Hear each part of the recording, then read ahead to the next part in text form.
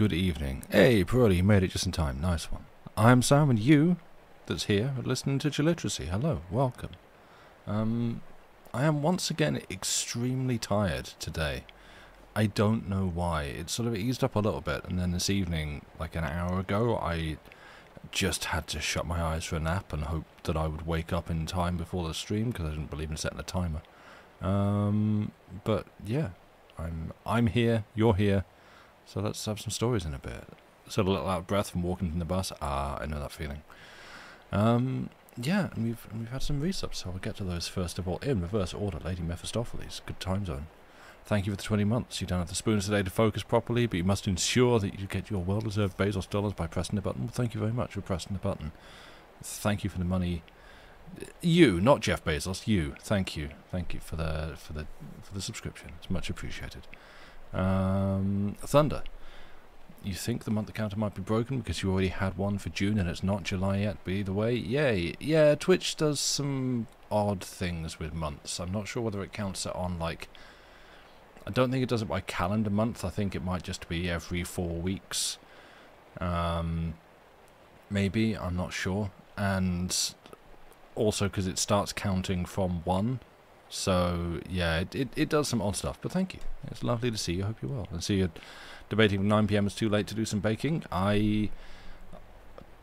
I would personally if I if I had to drive to go and bake something at 9 p.m. and it wasn't going to disturb anyone else around in the house, let her rip, go for it. Uh, Andy Pants, uh, 22 months. Thank you very much. Insert clever pun here. Um, so I read actually a funny thing about that earlier, just the other day. That um, I think it was like a study published by. I want to say Harvard, but for all I know, it could be MIT. That actually, apparently, no pun is funny or clever. So there we go. Um, but yeah, how are we doing? Welcome in. Um, you're looking at the games on Steam, probably going to be responsible and not going to buy. I have been doing that and kind of capitulated a little bit this afternoon. It what what broke the dam? You will not stand for this pun slander? Well, tough. Um, you can sit down for it. Oh, Joey has collapsed onto the floor. Okay, he is fine. Um. Yes, what was I saying? Steam. Steam games. Yeah, I so sitting quite comfortably for it. Yes, exactly. Thank you. Um, yeah, I I have been I've been browsing the Steam sale, and I I do sort of I do two things, looking at the two different price brackets of like how how many things kind of how there's because I've got a lot of stuff on my wish list, and I'm probably not going to buy. Hey, Sarah, hello. Um, weirdly, that's highlighted by Twitch as a first-time chat. But hello, well, welcome to the channel, first-time chatter, Sarah Surrende. Surrende. I don't know where you want the emphasis. Uh, welcome in. It's migraine day, so you have something you can enjoy that staring at the screen. Oh no, that sucks. I'm sorry that that's, you know, I'm sorry that those are the circumstances by which you're here, but yeah, okay. Um, I hope the migraine... Hello, stranger, indeed. Welcome. Um, yeah, I hope the migraine eases up and leaves you alone. I'm sorry. That sucks. Um, yeah, Steam. I I look at like the the kind of the two different price brackets of super cheap stuff that I've had on my wish list for years and is now down to like ninety percent off. And kind of like, okay, well, if I spent ten quid, how many different games can I just bulk up my Steam library with? Not that it not that it needs it, for under ten quid. And then at the higher end, like what what's what's kind of a pretty good discount that could be like the next game that I get into in some way.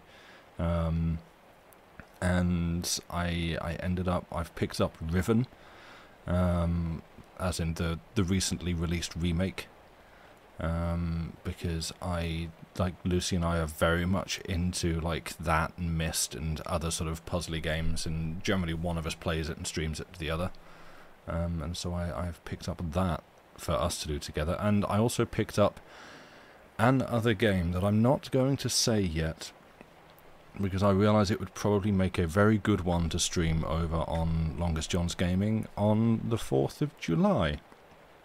Which probably sounds like it's going to be one thing and is not because that's that's election day here in the UK and I thought that if I feel up to it I might try and do a stream on the evening of the election when the results are coming in. and I, I may have a game that that sort of suits that in some way that might be quite quite interesting. Kind of at a, at a tangent. So yeah, um, looking forward to that. And obviously, being me now that now that that dam has broken, I am going to go back to Steam and look for more things. And I really want I really want to get Animal Well. Animal Well looks really good. And I've been trying to avoid as many spoilers about it as possible. So I really want that. And there, there's oh, there's so many things. Um, to mild as things go? Okay, well that's that's something. Yeah, that's a relief in, in some way. Um, it's also Celeste. It's two bucks. You've been thinking of why you should get that, and that price you can't say no. It's completely fair. Yeah, Celeste is like Celeste. I think is one of the first what I would consider to be hard games that I that I went into and played when when I sort of I think I was talking about this on when um, I think it was like Shadow at Noon in chat the other day when I was streaming Elden Ring. Um, like there there was there was like a, a period like a point in my life where I just like, there was a turning point in my life. No, I'd for well with Sarah here. Yeah, those of you familiar with like Loading Ready Run and folks from there, it was Adam from there. Watching him stream, um, on stream, I talked about him spending a long time trying to defeat Radahn in Elden Ring with whips and eventually doing it. But before that, it was watching him stream. Um, I want to be the Boshy, and there is a boss in the middle of that game that again is was for him just a tremendous roadblock, and like it it took many streams of many hours just relentlessly Uh, like attempting that boss and getting past it, and sort of seeing seeing all that effort and that sort of relief at when it eventually broke. That that was for me sort of a little bit of an inspiring. Like maybe I don't want to be like the ultimate hard gamer kind of person. That's that's not for me. But maybe I should try pushing myself a little bit. And I don't know. Maybe it's fun to actually attempt things that are above me as a challenge and try to you know, try to improve and but you know, yeah, push myself a little bit in video games, of course, not in anything functional or useful in real life. Um, and I think it was after that, like Celeste was one of the first games I looked at, and I think I, I think I got it on Epic for free, maybe, or it was on Game Pass. And also, I okay, I'll, i was going to like try and finish the point, and I realised no, I'm rambling, so i will stop. Ray Tracer. Thank you very much for the 27 months. Good time zone. You brought home two massive books and a dozen cupcakes from the library today. Hell yeah, that's living. Nice one. Good job. Um, I have my quite sizable copy of the Southern Reach trilogy sat behind me, which I'm looking forward still to getting into and through. Uh, are they the ones who do the charity stream? Yes, Loading Ready Run are the ones that do Desert Bus. Um, yeah, and so he's he the guy I'm talking about doesn't actually participate in Desert Bus, but he is he's part of the part of the group. Um, and so yeah, it was it was watching him um, do um, I want to be the Boshy and just like push himself through that absurd challenge. And before anyone even thinks of suggesting it, no. Um, but yeah, that, that's where I was like, okay, well, Celeste has a reputation as a really difficult platformer, but also an excellent platformer. So yeah, why not? I'll give it a go. And I've not 100%ed it because, again, you know, do what you enjoy, not past the point. Um, and yeah, that that was one. I was like, okay, I, I reckon I'll give this a shot. I probably won't defeat it. It's probably going to defeat me, but yeah, I actually managed to finish it. And one of those sort of first proud accomplishments. Of like, yeah, I actually I set myself a challenge and I rose to it. Nice. So yeah, I, I recommend Celeste. It's a good game. Um, well, that, there you go. That's that's ramble over. We we we did it. We got there. Yay. Um, I'm so I'm so like anxious when Joey is just lying on the floor directly behind my chair that he doesn't realize how absent-minded I can be, and I do not want to scooch the chair back and like pinch him at all. Um, you spent enough time playing and enjoying old platforms, but you've never actually played a modern one, and you understand Celeste is supposed to be one of the best. Yeah, it is. It's it's very very good. Um, like I, I feel like it does an excellent job of like training you and leading you and like you know the the the the good game design stuff of like introduce a new mechanic give you kind of a safe place to sort of practice it and sort of get get the feel for it and then just ramp up the difficulty a little bit add a bit more challenge add some time constraints but not just straight away like ha ha we made it difficult you fail but actually just like walking you through the challenge and just escalating things a little bit. And then at the end you're like damn i got good. Like yeah you did. Well done. Nice one. Um sorry, very obscure reference also very much means to be a very good thing. You're watching Ghosts and you have spent ages trying to work out who the guy who plays Humphrey reminds you of. It's me. I haven't seen Ghosts on that. I don't know who that character is. So, you know, for now, I was going to say for now, I'm not insulted by it. No, I'm not going to be insulted by it. Uh, but um, nice, okay, yeah, I, I, I laugh because I, yeah, I, I do that thing a lot as well. The sort of, uh, like, I'll see someone like, no, I've I've seen this person, but who is who is this person? Who are you? And that's where I go and look up their IMDb page to see if I've seen them in a film before. And half the time I haven't, and then I realise they just really strongly remind me of someone else. Um, yeah, I I know it. I do it. Um, oh, do do you want to go out now, Mr. Cat? Hey. Yes. Okay.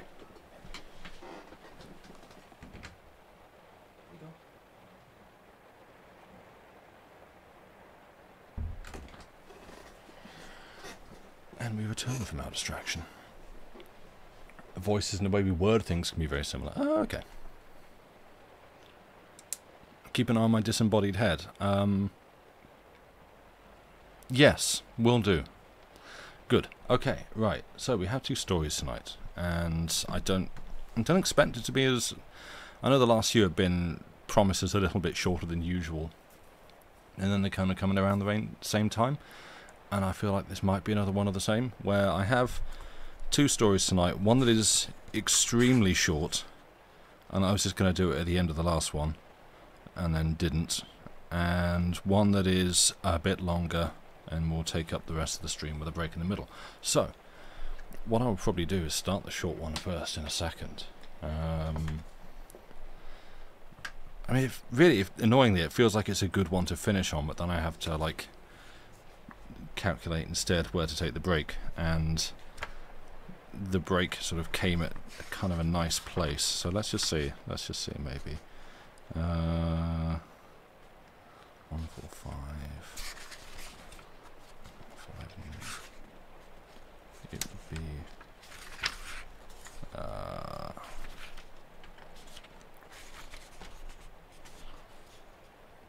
don't don't mind the silence. I'm just doing some extremely rudimentary maths. Um, oh, I could move. I could move the break to there. Could move the break to there. I think that might work actually. Uh, good long ramble that let you change clothes and settle down. Much appreciated. No worries. Um, yeah, let's let's change things around a little bit. Let's uh, take Depeche Mode advice and enjoy the silence. Sorry. Depeche Mode's advice and enjoy the silence. Okay, yeah, well, that's fine. We're getting all the tongue twisters out the way first. And then... And then, yeah. I'll be all fine and good for the reading. So, change of plans. Change of order. It's I I yes I know I figured it's a song I know it's, it's Depeche I I probably know the song um, but I don't know a lot of Depeche Mode songs by name. Um, but I know, yes, I know who they are. Good grief. I'm 41. I know who Depeche Mode are. Right. This. Um, this is, excuse a very loud clacks of the keyboard, by the way. Um, this is the first story that I should be reading tonight. It is called The Listener that's how that word's pronounced. It's by, as both stories tonight are, it's by Algernon Blackwood. yes, I know, sound so disappointed, so defensive. Yes, exactly. Put you in your place. Um, yeah, this is this is a, a short story by Algernon Blackwood. I'm going to do a little bit of introducing. First of all, um, the most important one here is a bit of a, little bit of a content warning for like um, self harm slash suicide as a as a topic that will come up. Not not handled in the the most sort of respectful modern way. So a bit of kind of old timey attitudes towards that. Um, just like ripping that band-aid off early and just putting that out there in case that's a thing that you want to be wary of or mindful of for yourself. Um, so yeah, please be advised on that, and as I say, look after yourselves. Uh, second thing I noticed while I was reading, and I think I've complained about it before. Um, okay, as always, thank you for the warning. No worries, Thunder. You're welcome. Um, should it even actually be? It should be. Should at least be. I think safe. Well, hang on. Oh yeah, because I just changed where I put the break. Um, that's going to confuse me when I come to the wrong one, so scribble that out. Um, I was going to say, well, yeah, he might be safe to the break. I'm not sure. It's yeah, as I say, it's it's it's not like I I don't feel like it's particularly heavy with it. Um, but it is kind of a you know without spoiling too much, sort of a core theme that comes up. Um, uh, what's sorry? You haven't actually heard Depeche, oh, Depeche Much is silly since you think you like them. Yeah, you might do. Yeah. Um, it's not silly. There's there's a lot of music out and about, to be honest, and frankly, more happening all the time. Um, the second thing, yeah, I noticed while I was reading through that my copy here has a number of weird typos in it, and weird by which I mean it very much seems like I'm reading a copy that has been scanned from another copy, and just not as in like typo where you try to type a word and hit the wrong keys, but literally it is a different word that to a scanner could look like the same word and hasn't had any thought behind that word doesn't make any sense. And like the the, the clue that sort of tipped me off really was um, like the word up was often being rewritten as tip because T and I next to each other can kind or like a U can kind of look like a T and an I next to you. Uh, next to you, next to each other. Good. Oh, okay. Why do typos suddenly appear every time? Anyway, um, yeah, uh, a U can apparently in the text that this was scanned from look a little bit like a T and an I next to each other, and so this will at times have the word tip instead of up, and other such examples. And I checked it against the text that I've linked there in chat, and the text that I have linked there in chat seems to be accurate and correct, which is where I was able to verify that this seems like a. Who is the publisher? Um, it is a digireads.com book, digireads.com publishing. Um, so I guess there's your answer. Copyright digireads.com. Um, I have an ISBN if you would like it. I can actually put that in chat if you want to look it up.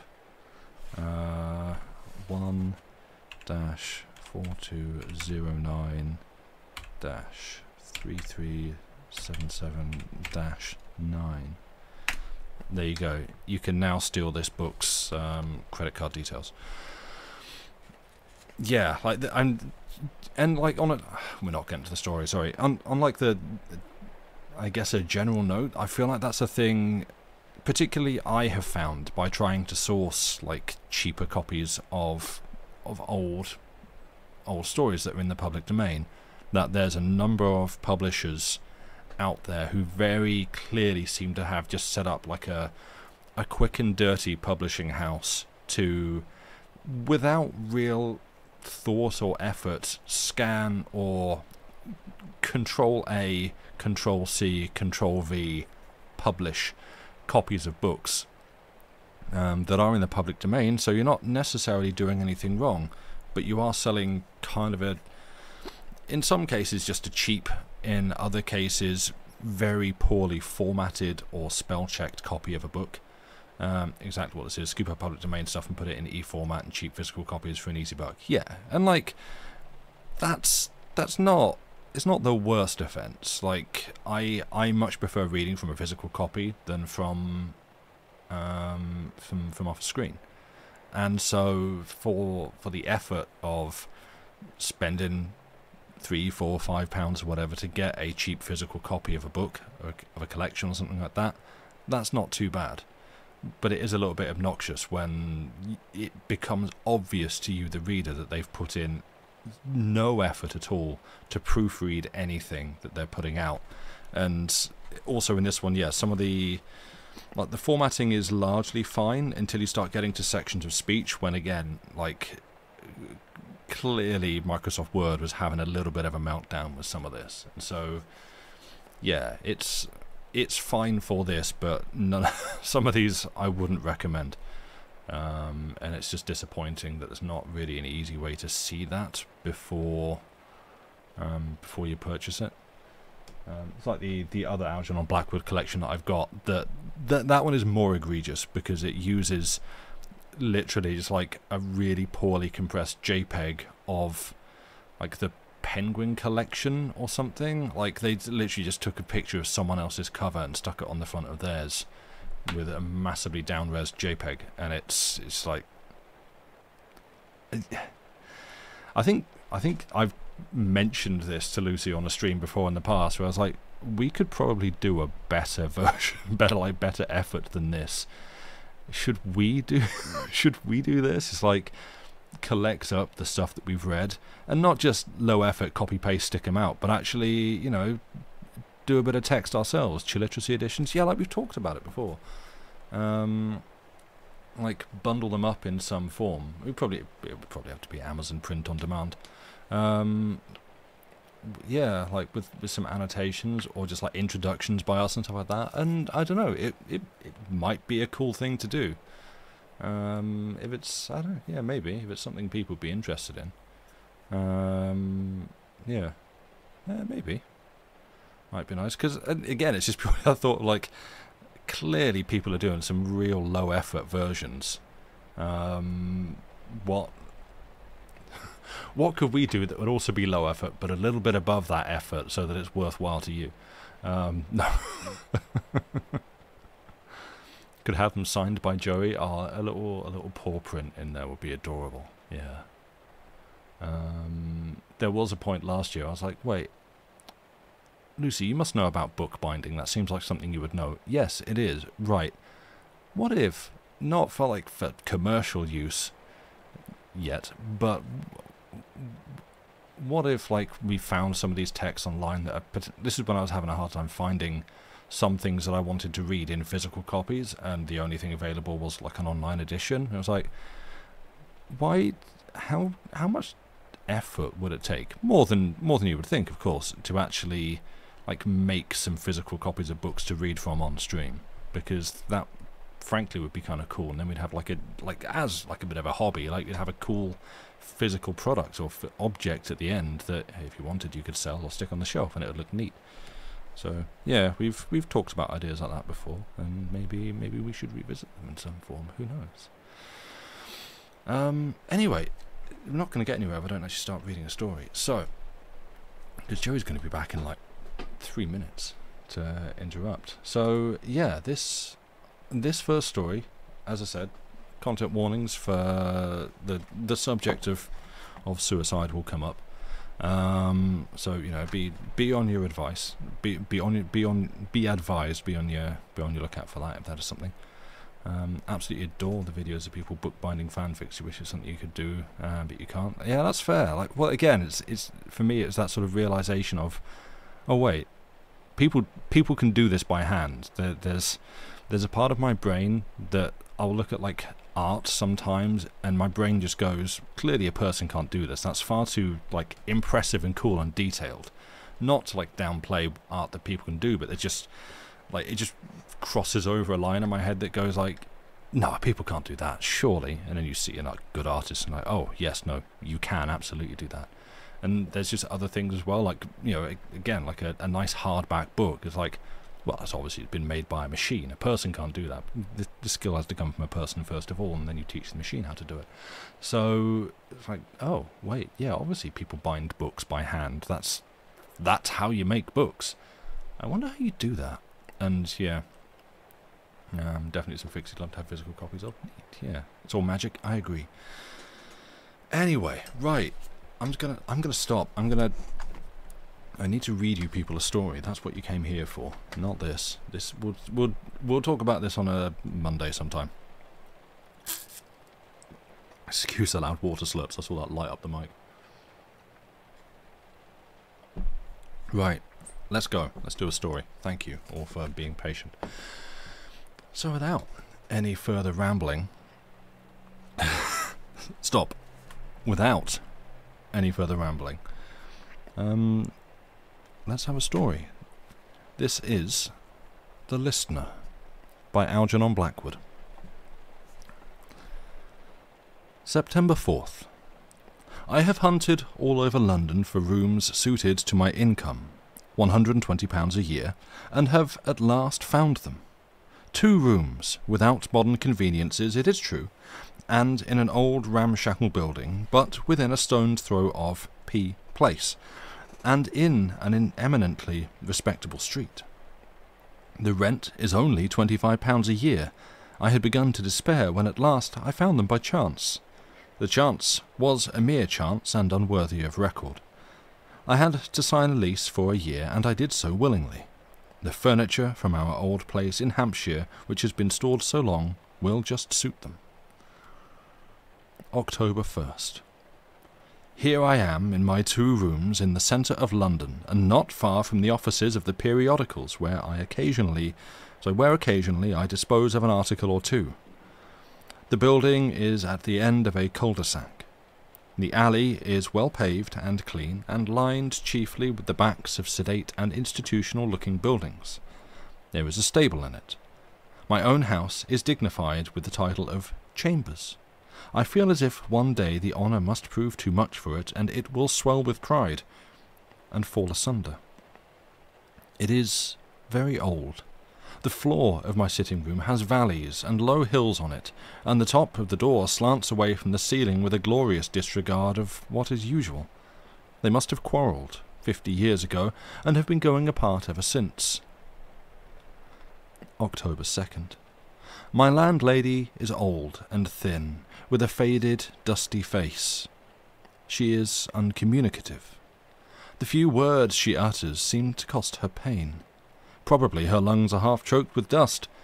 She keeps my rooms as free from this commodity as possible, and has the assistance of a strong girl who brings up the breakfast and lights the fire.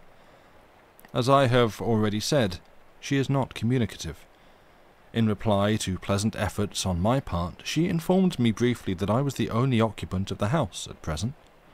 My rooms had not been occupied for some years. There had been other gentlemen upstairs, but they had left. She never looks straight at me when she speaks, but fixes her dim eyes on my middle waistcoat button till I get nervous and begin to think it isn't on straight or is the wrong sort of button altogether.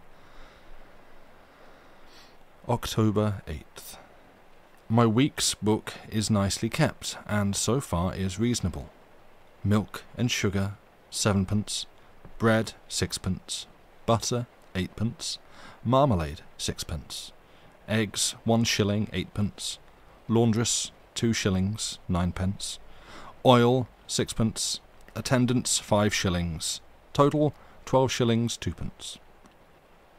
The landlady has a son who, she told me, is something on a omnibus.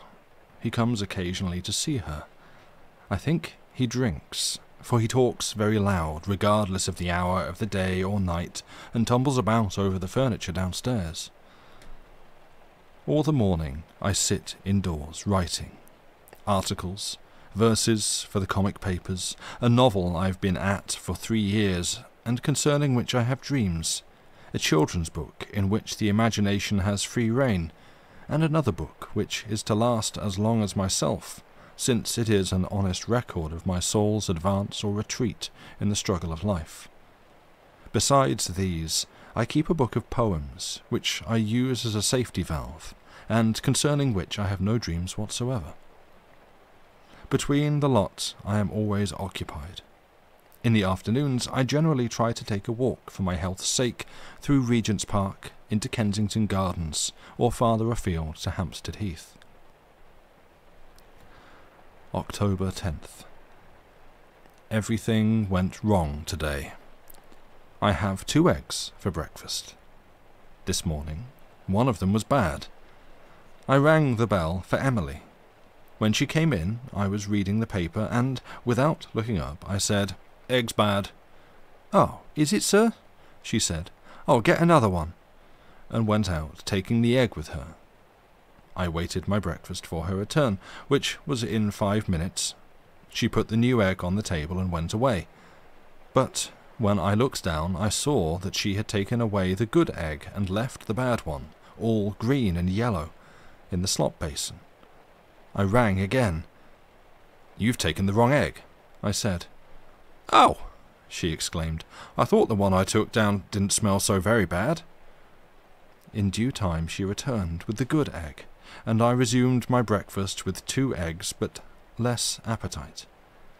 It was all very trivial, to be sure, but so stupid that I felt annoyed. The character of that egg influenced everything I did. I wrote a bad article and tore it up. I got a bad headache.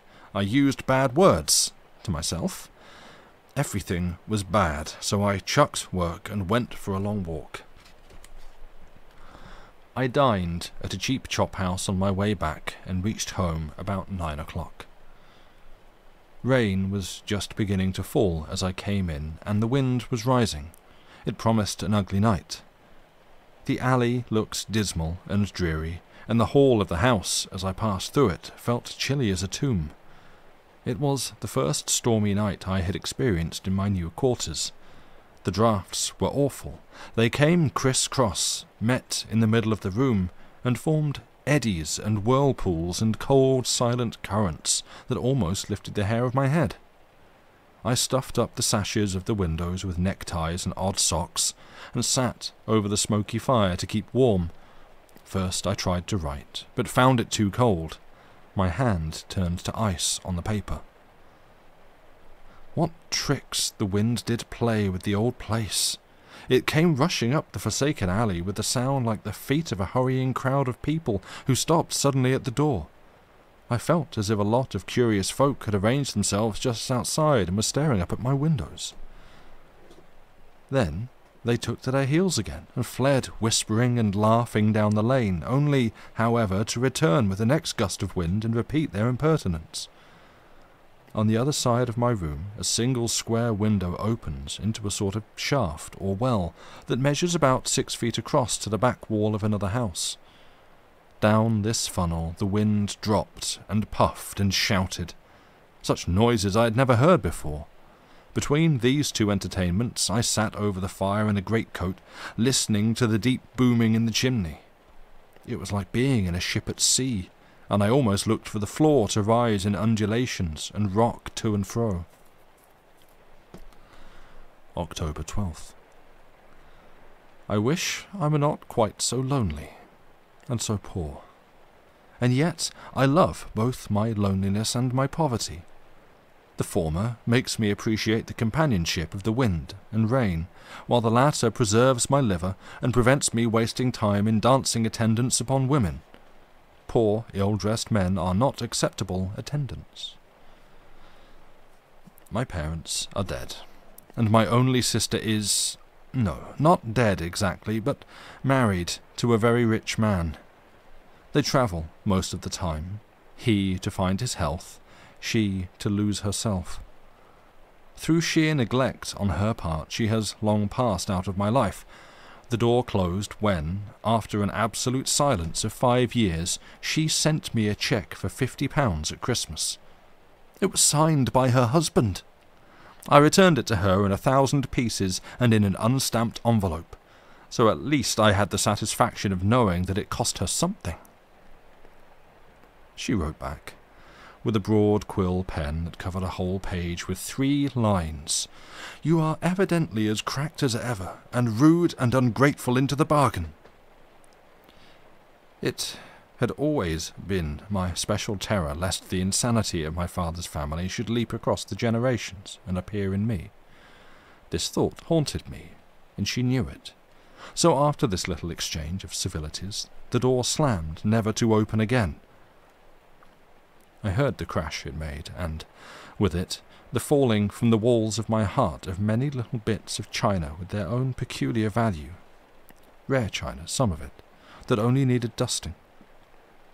The same walls, too, carried mirrors, in which I used sometimes to see reflected the misty lawns of childhood, the daisy chains, the wind torn blossoms scattered through the orchard by warm rains, the robber's cave in the long walk, and the hidden store of apples in the hayloft.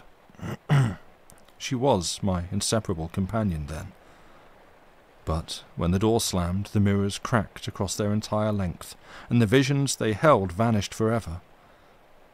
Now I am quite alone. At forty, one not can so one cannot begin all over again to build up careful friendships, and all others are comparatively worthless. October 14th. My bedroom is 10 by 10. It is below the level of the front room, and a step leads down into it. Both rooms are very quiet on calm nights, for there is no traffic down this forsaken alleyway. In spite of the occasional larks of the wind, it is a most sheltered strip. At its upper end, below my windows, all the cats of the neighbourhood congregate as soon as darkness gathers. They lie undisturbed on the long ledge of a blind window of the opposite building, for after the postman has come and gone at nine thirty, no footsteps ever dare to interrupt their sinister conclave. Excuse me. No step but my own or sometimes the unsteady footfall of the son who is something on a omnibus. October 15th.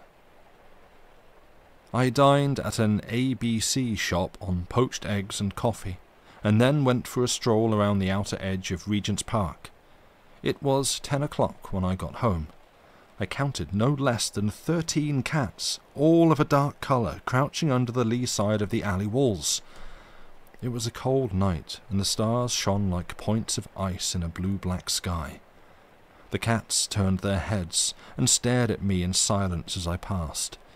An odd sensation of shyness took possession of me under the glare of so many pairs of unblinking eyes. As I fumbled with the latch key, they jumped noiselessly down and pressed against my legs, as if anxious to be let in. But I slammed the door in their faces and ran quickly upstairs. The front room, as I entered to grope for the matches, felt as cold as a stone vault, and the air held an unusual dampness. October 17th. For several days, I have been working on a ponderous article that allows no play for the fancy. My imagination requires a judicious rein, I am afraid to let it loose, for it carries me sometimes into appalling places beyond the stars and beneath the world. No one realizes the danger more than I do. But what a foolish thing to write here, for there is no one to know, no one to realize. My mind of late has held unusual thoughts, thoughts I have never had before, about medicines and drugs and the treatment of strange illnesses. I cannot imagine their source. At no time in my life have I dwelt upon such ideas as now constantly throng my brain. I have had no exercise lately, for the weather has been shocking, and all my afternoons have been spent in the reading room of the British Museum, where I have a reader's ticket. I have made an unpleasant discovery. There are rats in the house. At night, from my bed, I have heard them scampering across the hills and valleys of the front room, and my sleep has been a good deal disturbed in consequence. October 19th. The landlady, I find, has a little boy with her, probably her son's child. In fine weather, he plays in the alley and draws a wooden cart over the cobbles. One of the wheels is off, and it makes a most distracting noise. After putting up with it as long as possible, I found it was getting on my nerves, and I could not write. So I rang the bell. Emily answered it. Emily, will you ask the little fellow to make less noise? It's impossible to work. The girl went downstairs, and soon afterwards the child was called in by the kitchen door. I felt rather a brute for spoiling his play. In a few minutes, however, the noise began again, and I felt that he was the brute. He dragged the broken toy with a string over the stones till the rattling noise jarred every nerve in my body. It became unbearable, and I rang the bell a second time. The noise must be put a stop to, I said to the girl with decision. Yes, sir, she grinned. I know, but one of the wheels is off. The men in the stable offered to mend it for him, but he wouldn't let 'em. He says he likes it that way. I can't help what he likes. The noise must stop. I can't write. Yes, sir. I'll tell Mrs. Monson. The noise stopped for the day then. October 23rd. Every day, for the past week, that cart has rattled over the stones till I have come to think of it as a huge carrier's van with four wheels and two horses, and every morning I have been obliged to ring the bell and have it stopped. The last time Mrs. Monson herself came up and said she was sorry I had been annoyed. The sounds should not occur again. With rare discursiveness, she went on to ask if I was comfortable and how I liked the rooms. I replied cautiously. I mentioned the rats. She said there were mice. I spoke of the draughts. She said, yes, it were a draughty house. I referred to the cats, and she said they had been as long as she could remember. By way of conclusion, she informed me that the house was over two hundred years old, and that the last gentleman who had occupied my rooms was a painter who had real Jimmy buoys and raffles hanging all over the walls. It took me some moments to discern that Cimabue and Raphael were in the woman's mind. October 24th. Last night, the son, who is something on a omnibus, came in. He had evidently been drinking, for I heard loud and angry voices below in the kitchen long after I had gone to bed. Once, too, I caught a singular caught the singular words rising up to me through the floor, Burn it from top to bottom is the only thing that'll ever make this house right. I knocked on the floor and the voices ceased suddenly, though later I again heard their clamour in my dreams. These rooms are very quiet, almost too quiet sometimes. On windless nights they are silent as the grave, and the house might be miles in the country. The roar of London's traffic reaches me only in heavy, distant vibrations. It holds an ominous note sometimes, like that of an approaching army, or an immense tidal wave very far away thundering in the night. October 27th. Mrs. Monson, though admirably silent, is a foolish, fussy woman. She does such stupid things. In dusting the room, she puts all my things in the wrong places. The ashtrays, which should be on the writing table, she sets in a silly row on the mantelpiece. The pen tray, which should be beside the inkstand, she hides away cleverly among the books on my reading desk. My gloves she arranges daily in, idiot, in an idiotic array upon a half-filled bookshelf, and I always have to rearrange them on the low table by the door. She places my armchair at impossible angles between the fire and the light and the tablecloth, the one with the Trinity Hall stains, she puts on the table in such a fashion that when I look at it, I feel as if my tie and all my clothes were on crooked and awry. She exasperates me. Her very silence and meekness are irritating. Sometimes I feel inclined to throw the inkstand at her, just to bring an expression to her watery eyes and a squeak from those colourless lips. Dear me, what violent expressions I am making use of. How very foolish of me. And, and yet it almost seems as if the words were not my own, but had been spoken into my ear. I mean, I never make use of such terms, naturally. October 30th. I have been here a month. The place does not agree with me, I think. My headaches are more frequent and violent, and my nerves are a perpetual source of discomfort and annoyance. I have conceived a great dislike for Mrs. Monson, a feeling I am certain she reciprocates. Somehow the impression comes frequently to me that there are goings on in this house, of which I know nothing, and which she is careful to hide from me. Last night her son slept in the house, and this morning, as I was standing at the window, I saw him go out. He glanced up and caught my eye. It was a loutish figure, and a singularly repulsive face that I saw, and he gave me the benefit of a very unpleasant leer. At least, so I imagined. Evidently, I am getting absurdly sensitive to trifles, and I suppose it is my disordered nerves making themselves felt. In the British Museum this afternoon, I noticed several people at the readers' table staring at me and watching every movement I made. Whenever I looked up from my books, I found their eyes upon me. It seemed to me unnecessary and unpleasant, and I left earlier than was my custom. When I reached the door, I threw back at last, so I threw back a last look into the room and saw every head at the table turned in my direction. It annoyed me very much, and yet I know it is foolish to take note of such things. When I am well, they pass me by. I must get more regular exercise. Of late, I have had next to none. November 2nd. The utter stillness of this house is beginning to oppress me. I wish there were other fellows living upstairs. No footsteps ever sound overhead, and no tread ever passes my door to go up the next flight of stairs. I am beginning to feel some curiosity to go up myself and see what the upper rooms are like. I feel lonely here and isolated, swept into a deserted corner of the world, and forgotten. Once I actually caught myself gazing into the long, cracked mirrors, trying to see the sunlight dancing beneath the trees in the orchard. But only deep shadows seemed to, seemed to congregate there now, and I soon desisted.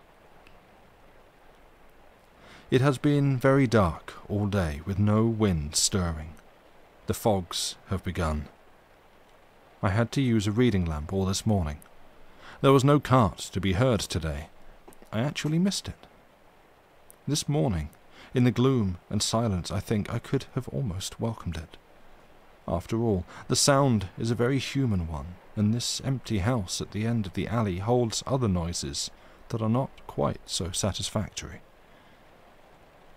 I have never once seen a policeman in the lane, and the postmen always hurry out with no evidence of a desire to loiter. 10 p.m. As I write this, I hear no sound but the deep murmur of the distant traffic and the low sighing of the wind. The two sounds melt into one another. Now and again a cat raises its shrill, uncanny cry upon the darkness. The cats are always there under my windows when the darkness falls. The wind is dropping into the funnel with a noise like the sudden sweeping of immense, distant wings. It is a dreary night. I feel lost and forgotten. November 3rd. From my windows, I can see arrivals. When anyone comes to the door, I can just see the hat and shoulders and the hand on the bell. Only two fellows have been to see me since I came here two months ago. Both of them I saw from the window before they came up, and heard their voices asking if I was in. Neither of them ever came back. I have finished the ponderous article. On reading it through, however, I was dissatisfied with it and drew my pencil through almost every page. There were strange expressions and ideas in it that I could not explain, and viewed with amazement, not to say alarm. They did not sound like my very own, and I could not remember having written them. Can it be that my memory is beginning to be affected? My pens are never to be found. That stupid old woman puts them in a different place each day. I must give her due credit for finding so many new hiding places. Such ingenuity is wonderful. I have told her repeatedly, but she always says, I'll speak to Emily, sir. Emily always says, I'll tell Mrs. Monson, sir. Their foolishness makes me irritable and scatters all my thoughts. I should like to stick the lost pens into them and turn them out, blind eyed to be scratched and mauled by those thousand hungry cats.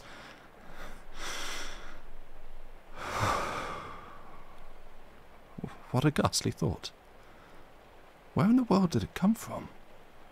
S- Such an idea is no more my own than it is the policeman's, yet I, I felt I had to write it. It was, it was like a voice singing in my head, and my pen wouldn't stop till the last word was finished.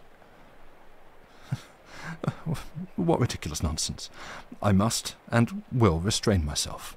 I must take more regular exercise. My nerves and liver plague me horribly. November 4th.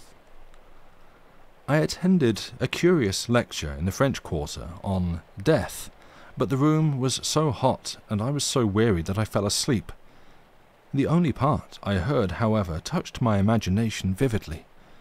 Speaking of suicides, the lecturer said that self murder was no escape from the miseries of the present, but only a preparation of greater sorrow for the future.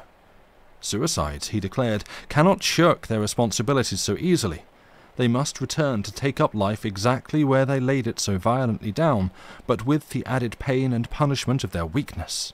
Many of them wander the earth in unspeakable misery till they can reclothe themselves in the body of someone else, generally a lunatic or weak minded person who cannot resist the hideous obsession.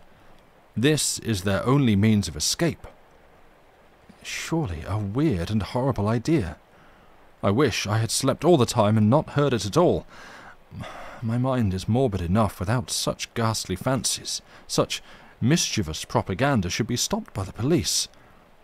I'll write to the Times and suggest it.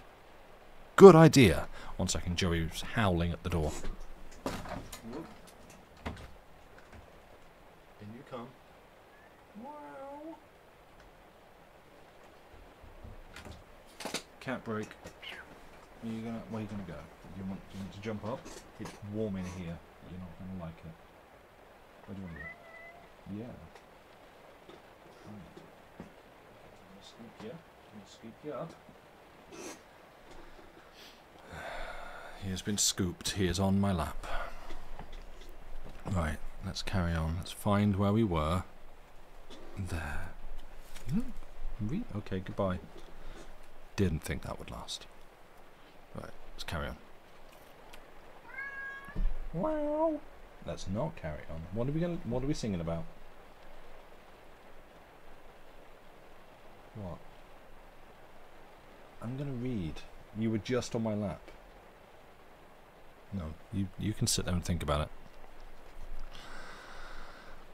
I walked home through Greek Street, Soho, and imagined that a hundred years had slipped back into place, and De Quincey was still there, haunting the night with invocations to his just subtle and mighty drug. His vast dream seems to hover not very far away. Once started in my brain, the pictures refused to go away, and I saw him sleeping in that cold, tenantless mansion with the strange little waif who was afraid of its ghosts, both together in the shadows, under a single horseman's cloak, or wandering in the companionship of the spectral Anne, or, later still, on his way to the eternal rendezvous at the foot of Great Titchfield Street, the rendezvous she was never able to keep. What an unutterable gloom, what an untold horror of sorrow and suffering comes over me as I try to realize something of what that man, boy he then was, must have taken into his lonely heart. As I came up the alley, I saw a light in the top window, and, her, and a head and shoulders thrown in an exaggerated shadow upon the blind. I wondered what the sun could be doing up there at such an hour. November 5th. This morning, while writing, someone came up the creaking stairs and knocked cautiously at my door. Thinking it was the landlady, I said, Come in. The knock was repeated, and I cried louder, Come in, come in. But no one turned the handle, and I continued my writing with a vexed, Well, stay out then, under my breath. Went on writing? Ah, I tried to, but my thoughts had suddenly dried up at their source. I could not set down a single word. It was a dark, yellow fog morning, and there was little enough inspiration in the air as it was, but that stupid woman standing just outside my door, waiting to be told again to come in, roused a spirit of vexation that filled my head to the exclusion of all else. At last I jumped up and opened the door myself. What do you want, and why in the world don't you come in? I cried out. but the words dropped into empty air. There was no one there. The fog poured up the dingy staircase in deep yellow coils, but there was no sign of a human being anywhere. I slammed the door, with imprecations upon the house and its noises, and went back to my work. A few minutes later, Emily came in with the letter. Were you or Mrs. Monson outside a few minutes ago knocking at my door? No, sir. Are you sure? Mrs. Monson's gone to market, and there's no one but me and the child in the old house. I've been washing the dishes for the last hour, sir. I fancied the girl's face turned a shade pale. Uh, sorry, a shade paler. She fidgeted towards the door with a glance over her shoulder. Wait, Emily, I said, and then told her what I had heard. She stared stupidly at me, though her eyes shifted now and then over the articles in the room. Who was it? I asked when I had come to the end. Mrs. Monson says it's only mice, she says, as if repeating a learned lesson. Mice! I exclaimed. It's nothing of the sort. Someone was feeling about outside my door. Who was it? Is the son in the house? Her whole manner changed suddenly, and she became earnest instead of evasive. She seemed anxious to tell the truth. Well, she seemed anxious to tell the truth. Oh, no, sir. There's no one in the house at all but you and me and the child, and there couldn't have been nobody at your door. As for them knocks, she stopped abruptly, as though she had said too much. Well, what about the knocks? I said more gently. Of course, she stammered. The, the, the knocks isn't mice, nor the footsteps neither, but, but, but, but then... Again, she came to a full halt. Anything wrong with the house? Oh, no, sir, the drains is splendid. I don't mean the drains, girl. I mean, did anything... anything bad ever happen here? She flushed up to the roots of her hair, and then turned suddenly pale again. She was obviously in considerable distress, and there was something she was anxious, yet afraid to tell. Some forbidden thing she was not allowed to mention. Don't, don't mind what it was, only I should like to know. I said encouragingly. Raising her frightened eyes to my face, she began to blurt out something about that which happened once to a gentleman that lived upstairs, when a shrill voice calling her name sounded below. Emily! Emily! It was the returning landlady, and the girl tumbled downstairs as if pulled backwards by a rope, leaving me full of conjectures as to what in the world could have happened to a gentleman upstairs that could in so curious a manner affect my ears downstairs. Joey is snuggled up right into the wheels of the chair. Great. November 10th. I have done capital work. Have finished the ponderous article and had it accepted for the review, and another one ordered. I feel well and cheerful, and have regular exercise and good sleep. No headaches, no nerves, no liver. Those pills the chemist recommended are wonderful. I can watch the child playing with his cart and feel no annoyances. Sometimes I almost feel inclined to join him. Even the grey faced landlady rouses pity in me. I am sorry for her. So worn, so weary, so oddly put together, just like the building. She looks as if she had once suffered some shock of terror and was momentarily dreading another. When I spoke to her today very gently about not putting the pens in the ashtray and the, the gloves on the hook shelf, she raised her faint eyes to mine for the first time and said, with the ghost of a smile, I'll try to remember, sir. I felt inclined to pat her on the back and say, Come, cheer up and be jolly. Life's not so bad after all. Oh, I am much better. There's nothing like open air and success and good sleep. They build up as if by magic the portions of the heart eaten down by despair and unsatisfied yearnings. Even to the cats I feel friendly. When I came in at eleven o'clock tonight, they followed me to the door in a stream, and I stopped, and stooped down to stroke the one nearest to me. Ah, the brute hissed and spat and struck at me with her paws. The claw caught my hand and drew blood in a thin line. The others danced sideways into the darkness, screeching as though I had done them an injury. I believe these cats really hate me. Perhaps they are only waiting to be reinforced. Then they will attack me. In spite of the momentary annoyance, this fancy sent me laughing upstairs into my room. The fire was out, and the room seemed unusually cold. As I groped my way over to the mantelpiece to find the matches, I realized all at once that there was another person standing beside me in the darkness. I could, of course, see nothing, but my fingers, feeling along the edge, came into forcible contact with something that was at once withdrawn. It was cold and moist. I could have sworn it was somebody's hand. My flesh began to creep instantly. Who's that? I exclaimed in a loud voice. My voice dropped into the silence like a pebble into a deep well. There was no answer, but at the same moment I heard someone moving away from me across the room in the direction of the door. It was a confused sort of footstep and the sound of garments brushing the furniture on the way. The same second my hand stumbled upon the matchbox and I struck a light. I expected to see Mrs. Monson, or Emily, or perhaps the son who is something on an omnibus. But the flare of the gas jet illumined an empty room. There was not a sign of a person anywhere. I felt the hair stir upon my head, and instinctively I backed up against the wall, lest something should approach me from behind. I was distinctly alarmed, but the next minute I recovered myself.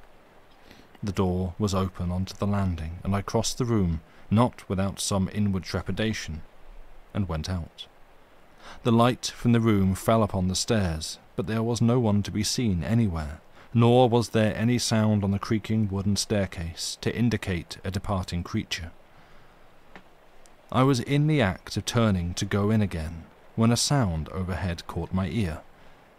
It was a very faint sound, not unlike the sigh of wind. Yet it could not have been the wind, for the night was still as the grave. Though it was not repeated, I resolved to go upstairs and see for myself what it all meant. Two senses had been affected touch and hearing, and I could not believe that I had been deceived. So, with a lighted candle, I went stealthily forth on my unpleasant journey into the upper regions of this queer little old house. On the first landing, there was only one door, and it was locked. On the second, there was also only one door, but when I turned the handle, it opened. There came forth to meet me the chill, musty air that is characteristic of a long, unoccupied room. With it there came an indescribable odour. I use the adjective advisedly. Though very faint, diluted as it were, it was nevertheless an odour that made my gorge rise. I have never smelt anything like it before, and I cannot describe it. The room was small and square, close under the roof, with a sloping ceiling and two tiny windows. It was cold as the grave, without a shred of carpet or a stick of furniture. The icy atmosphere and the nameless odour combined to make the room abominable to me, and, after lingering a moment to see that it contained no cupboards or corners into which a person might have crept for concealment, I made haste to shut the door and went downstairs again to bed. Evidently I had been deceived after all as to the noise. In the night I had a foolish but very vivid dream.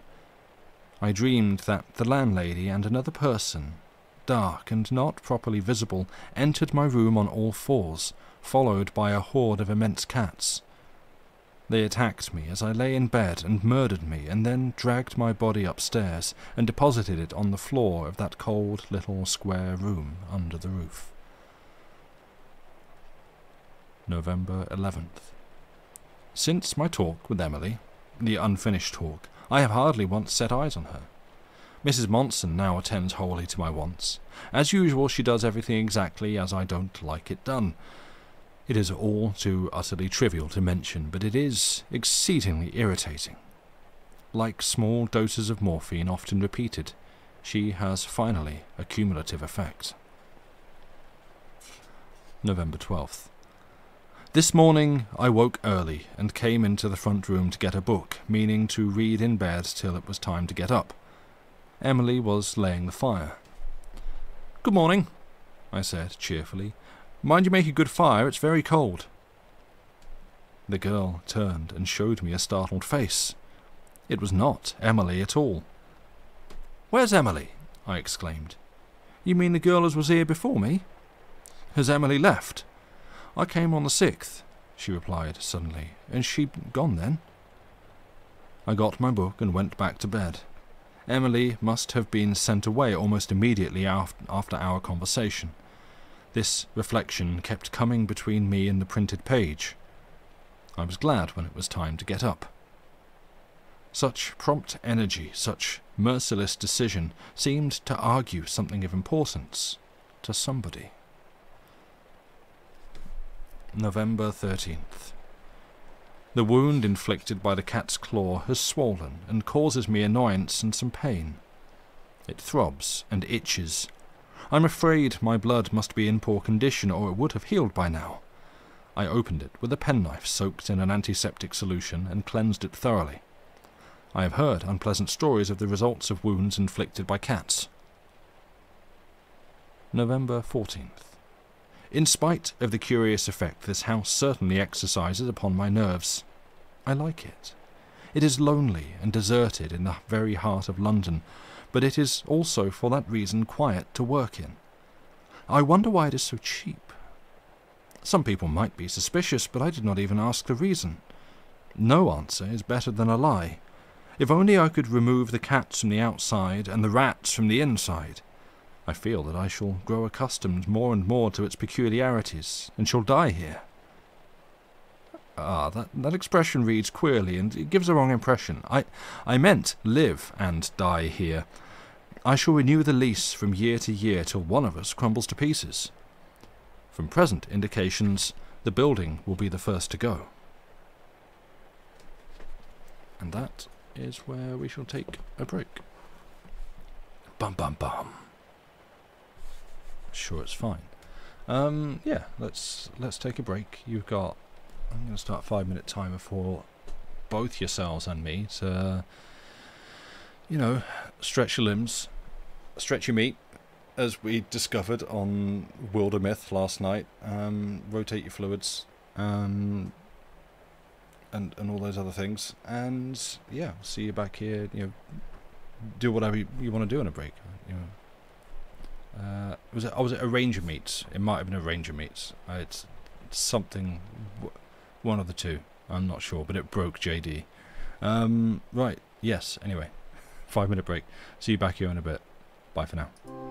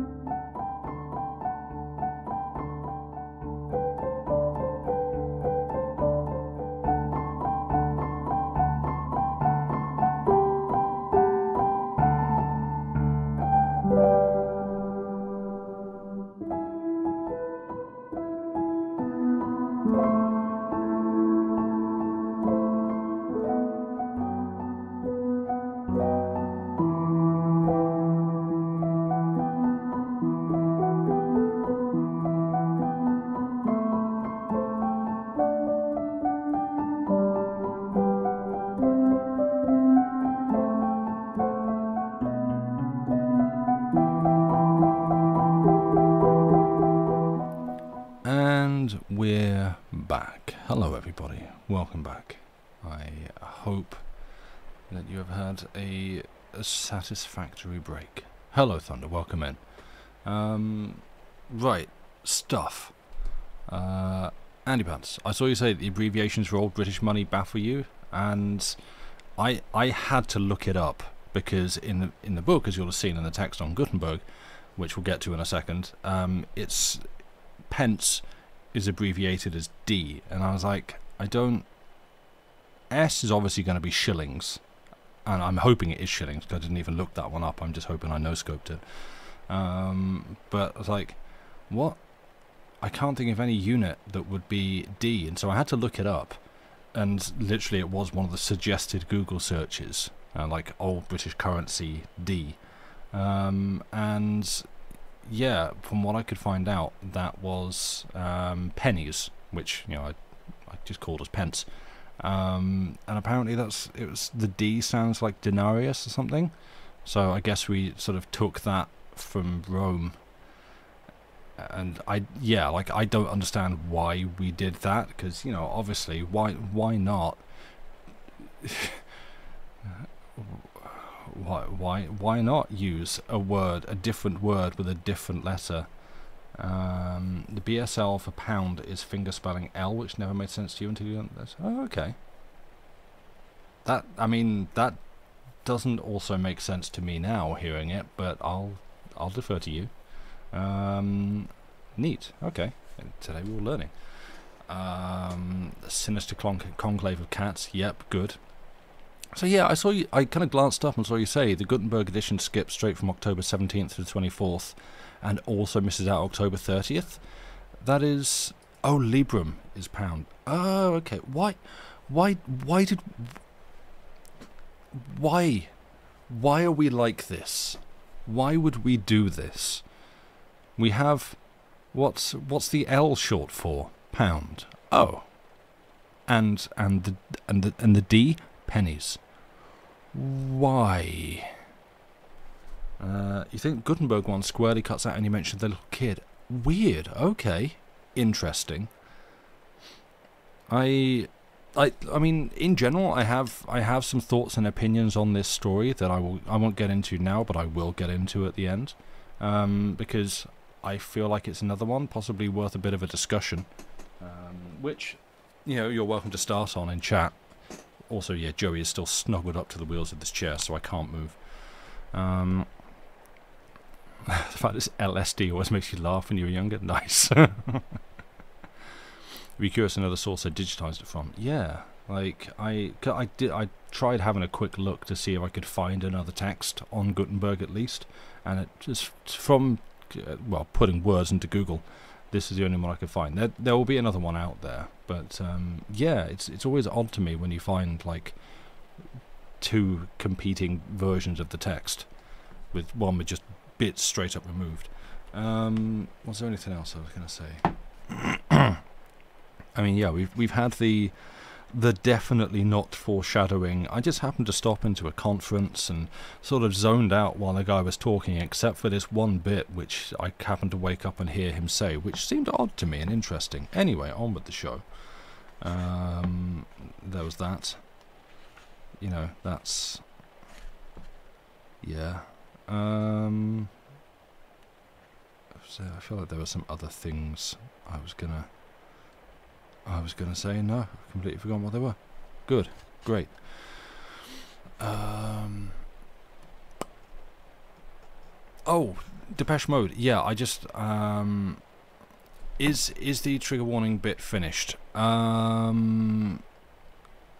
That bit is, but it will be back again for the end of the story, which I don't feel is too big a spoiler because it's kind of very bluntly foreshadowed.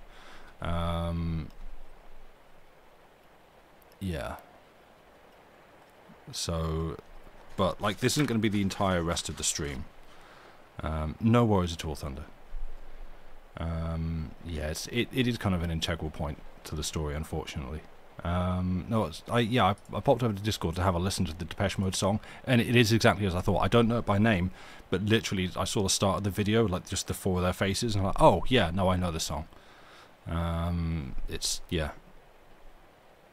There's there's a number of like 80s bands, all of like that kind of similar genre, which I I will know like the big songs by all of them, but not by name, and I tend to like mix the names up. Because I'm 41, I'm not 51. Uh, Which is to say, I was a child during that era, not a teenager, when I would remember these things. Anyway, I sat and talked far too much this stream. So let's sit and talk some more. We shall carry on with. What's the story called? The Listener by Algernon Blackwood. November 16th. It is abominable the way my nerves go up and down with me, and rather discouraging. This morning I woke to find my clothes scattered about the room and a cane chair overturned beside my bed. The coat and waistcoat looked just as if they had been tried on by someone in the night. I had horribly vivid dreams, too, in which someone covering his face with his hands kept coming close to me, crying out as if in pain, Where can I find covering? Oh, who will clothe me? How silly! And yet it frightened me a little. I was so dreadfully real. It was so dreadfully real. It is now over a year since I last walked in my sleep and woke up with such a shock on the cold pavement of Earl's Court Road, where I then lived. I thought I was cured, but evidently not. This discovery has rather a disquieting effect upon me. Tonight I shall resort to the old trick of tying my toe to the bedpost. November 17th. Last night I was again troubled by most oppressive dreams. Someone seemed to be moving in the night up and down my room, sometimes passing into the front room, and then returning to stand beside the bed and stare intently down upon me. I was being watched by this person all night long. I never actually awoke, though I was often very near it. I suppose it was a nightmare from indigestion, for this morning I have one of my old vile headaches. Yet all my clothes lay about the floor when I awoke, where they had evidently been flung. Had I so tossed them? During the dark hours, and my trousers trailed over the step into the front room. Worse than this, though, I fancied I noticed about the room in the morning that strange fetid odour. Though very faint, its mere suggestion is foul and nauseating. What in the world can it be, I wonder? In future I shall lock my door. November 26th. I have accomplished a lot of good work during this past week and have also managed to get regular exercise. I have felt well and in an equable state of mind. Only two things have occurred to disturb my equanimity. The first is trivial in itself and no doubt to be easily explained. The upper window, where I saw the light on the night of November 4th, with the shadow of a large head and shoulders upon the blind, is one of the windows in the square room under the roof. In reality, it has no blind at all. Here is the other thing. I was coming home last night, in a fresh fall of snow about eleven o'clock, my umbrella low down over my head. Half-way up the alley, where the snow was wholly untrodden, I saw a man's legs in front of me. The umbrella hid the rest of his figure, but on raising it I saw that he was tall and broad and was walking, as I was, towards the door of my house. He could not have been but four feet ahead of me. I had thought the alley was empty when I entered it, but might, of course, have been mistaken very easily. A sudden gust of wind compelled me to lower the umbrella, and when I raised it again, not half a minute later, there was no longer any man to be seen. With a few more steps I reached the door. It was closed as usual. Then I noticed, with a sudden sensation of dismay, that the surface of the freshly fallen snow was unbroken. My own footmarks were the only ones to be seen anywhere, and though I retraced my way to the point where I had first seen the man, I could find not the slightest impression of any other boots. Feeling creepy and uncomfortable, I went upstairs and was glad to get into bed. November 28th. With the fastening of my bedroom door, the disturbances ceased. I am convinced that I walked in my sleep. Probably I untied my toe and then tied it up again. The fancied security of the locked door would alone have been enough to restore sleep to my troubled spirit, and enable me to rest quietly. Last night, however, the annoyance was suddenly renewed, another and more suddenly renewed in another and more aggressive form. I woke in the darkness with the impression that someone was standing outside my bedroom door, listening. As I became more awake, the impression grew into positive knowledge. Though there was no appreciable sound of moving or breathing, I was so convinced of the propinquity of a listener that I crept out of bed and approached the door. As I did so, there came faintly from the next room the unmistakable sound of someone retreating stealthily across the floor. Yet, as I heard it, it was neither the tread of a man nor a regular footstep, but rather, it seemed to me, a confused sort of crawling, almost as if someone on his hands and knees or as of someone on his hands and knees.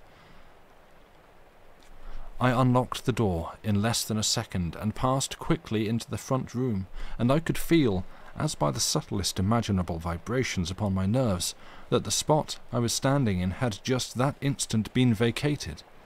The listener had moved. He was now behind the other door, standing in the passage. Yet this door was also closed. I moved swiftly and as silently as possible across the floor and turned the handle. A cold rush of air met me from the passage and sent, a sh- sent shiver after shiver down my back. There was no one in the doorway. There was no one on the little landing. There was no one moving down the staircase. Yet I had been so quick that the midnight listener could not be very far away, and I felt that if I persevered I should eventually come face to face with him and the courage that came so opportunely to overcome my nervousness and horror seemed born of the unwelcome conviction that it was somehow necessary for my safety as well as my sanity that I should find this intruder and force his secret from him. For was it not the intent action of his mind upon my own, in concentrated listening, that had awakened me with such a vivid realization of his presence? Advancing across the narrow landing, I peered down into the well of the little house. There was nothing to be seen. No one was moving in the darkness. How cold the oilcloth was to my bare feet. I cannot say what it was that suddenly drew my eyes upwards. I only know that Without apparent reason, I looked up and saw a person about halfway up the next turn of the stairs, leaning, leaning forward over the balustrade and staring straight into my face. It was a man. He appeared to be clinging to the rail rather than standing on the stairs. The gloom made it impossible to see much beyond the general outline, but the head and shoulders were seemingly enormous and stood sharply silhouetted against the skylight in the roof immediately above. The idea flashed into my brain in a moment that I was looking into the visage of something monstrous. The huge skull, the mane like hair, the wide humped shoulders suggested, in a way I did not pause to analyze, that which was scarcely human. And for some seconds, fascinated by horror, I returned the gaze and stared into the dark, inscrutable countenance above me, without knowing exactly where I was or what I was doing. Then I realized in quite a new way that I was face to face with the secret midnight listener, and I steeled myself as best I could for what was about to come. The source of the rash courage that came to me at this awful moment will ever be to me an inexplicable mystery. Though shivering with fear, and my forehead wet with an unholy dew, I resolved to advance. Twenty questions leaped to my lips. What are you? What do you want? Why do you listen and watch? Why do you come into my room? But none of them found articulate utterance. I began forthwith to climb the stairs, and with the first signs of my advance, he drew himself back into the shadows and began to move. He retreated as swiftly as I advanced. I heard the sound of his crawling motion a few steps ahead of me, ever maintaining the same distance, when I reached the landing, he was halfway up the next flight, and when I was halfway up the next flight, he had already arrived at the top landing. I then heard him open the door of the little square room under the roof and go in. Immediately, though the door did not close after him, the sound of his moving entirely ceased. At this moment I longed for a light, or a stick, or any weapon whatsoever. But I had none of these things, and it was impossible to go back. So I marched steadily up the rest of the stairs, and in less than a minute found myself standing in the gloom, face to face with the door through which this creature had just entered. For a moment I hesitated. The door was open. Sorry, the door was about halfway open, and the listener was standing evidently in his favourite attitude just behind it, listening. To search through the dark room for him seemed hopeless. To enter the same small space where he was seemed horrible. The very idea filled me with loathing, and I almost decided to turn back. It is strange at such times how trivial things impinge on the consciousness with a shock as of something important and immense. Something it may have been a beetle or a mouse scuttled over the bare boards behind me. The door moved a quarter of an inch, closing. My decision came back with a sudden rush, as it were, and thrusting out a foot, I kicked the door so that it swung sharply back to its full extent, and permitted me to walk forward slowly into the aperture of profound blackness beyond. What a queer, soft sound my bare feet made on the boards how the blood sang and buzzed in my head. I was inside. The darkness closed over me, hiding even the windows. I began to grope my way round the walls in a thorough search, but in order to prevent all possibility of the other's escape, I first of all closed the door. There we were, we two, shut in together between four walls within a few feet of one another. But with that, with whom was I thus momentarily imprisoned? Sorry, but with what, with whom, was I thus momentarily imprisoned? A new light flashed suddenly over the affair with a swift, illuminating brilliance, and I knew I was a fool, an utter fool. I was wide awake at last, and the horror was evaporating. My cursed nerves again a dream, a nightmare, and the old result walking in my sleep. The figure was a dream figure. Many a time before had the actors in my dreams stood before me for some moments after I was awake. There was a chance match in my pyjamas pocket, and I struck it on the wall. The room was utterly empty. It held not even a shadow. I went quickly down to bed, cursing my wretched nerves and my foolish, vivid dreams. But as soon as ever I was asleep again, the same uncouth figure of a man crept back to my bedside, and bending over me with his immense head close to my ear, whispered repeatedly in my dreams, I want your body. I want its covering. I'm waiting for it, and listening always words scarcely less foolish than the dream.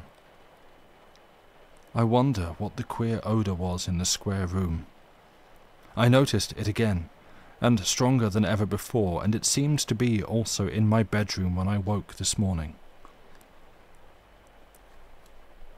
November 29th. Slowly, as moonbeams rise over a misty sea in June, the thought is entering my mind that my nerves and somnambulistic dreams do not adequately account for the influence this house exercises upon me. It holds me as with a fine, invisible net. I cannot escape if I would. It draws me, and it means to keep me. November 30th. The post this morning brought me a letter from Aden, forwarded from my old rooms forwarded from my old rooms in Earl's Court. It was from Chapter, my former Trinity chum, who is on his way home from the East and asks for my address. I sent it to him at the hotel he mentioned to await, await arrival. As I have already said, my windows command a view of the alley, and I can see an arrival without difficulty. This morning, while I was busy writing, the sound of footsteps coming up the alley filled me with a sense of vague alarm that I could in no way account for. I went over to the window and saw a man standing below waiting for the door to be opened. His shoulders were broad, his top hat glossy, and his overcoat fitted beautifully round the collar. All this I could see, but no more. Presently the door was opened, and the shock to my nerves was unmistakable when I heard a man's voice ask, Is Mr. still here? mentioning my name. I could not catch the answer, but it could only have been in the affirmative, for the man entered the hall and the door shut to behind him. But I waited in vain for the sound of his steps on the stairs. There was no sound of any kind. It seemed to me so strange that I opened my door and looked out. No one was anywhere to be seen. I walked across the narrow landing and looked through the window that commands the whole length of the alley. There was no sign of a human being coming or going. The lane was deserted. Then I deliberately walked downstairs into the kitchen and asked the grey faced landlady if a gentleman had just that minute called for me. The answer, given with an odd, weary sort of smile, was no. December 1st. I feel genuinely alarmed and uneasy over the state of my nerves. Dreams are dreams, but never before have I had dreams in broad daylight. I am looking forward very much to Chapter's arrival. He is a capital fellow, vigorous, healthy, with no nerves and even less imagination, and he has two thousand pounds a year into the bargain. Periodically he makes me offers, the last was to travel round the world with him as secretary, which was a delicate way of paying my expenses and giving me some pocket money. Offers, however, which I invariably decline. I prefer to keep his friendship. Women could not come between us. Money might, therefore I give it no opportunity. Chapter always laughed at what he called my fancies, being himself possessed only of that thin blooded quality of imagination which is ever associated with the prosaic minded man. Yet, if taunted with this obvious lack, his wrath is deeply stirred. His psychology is that of the crass materialist. Always a rather funny article.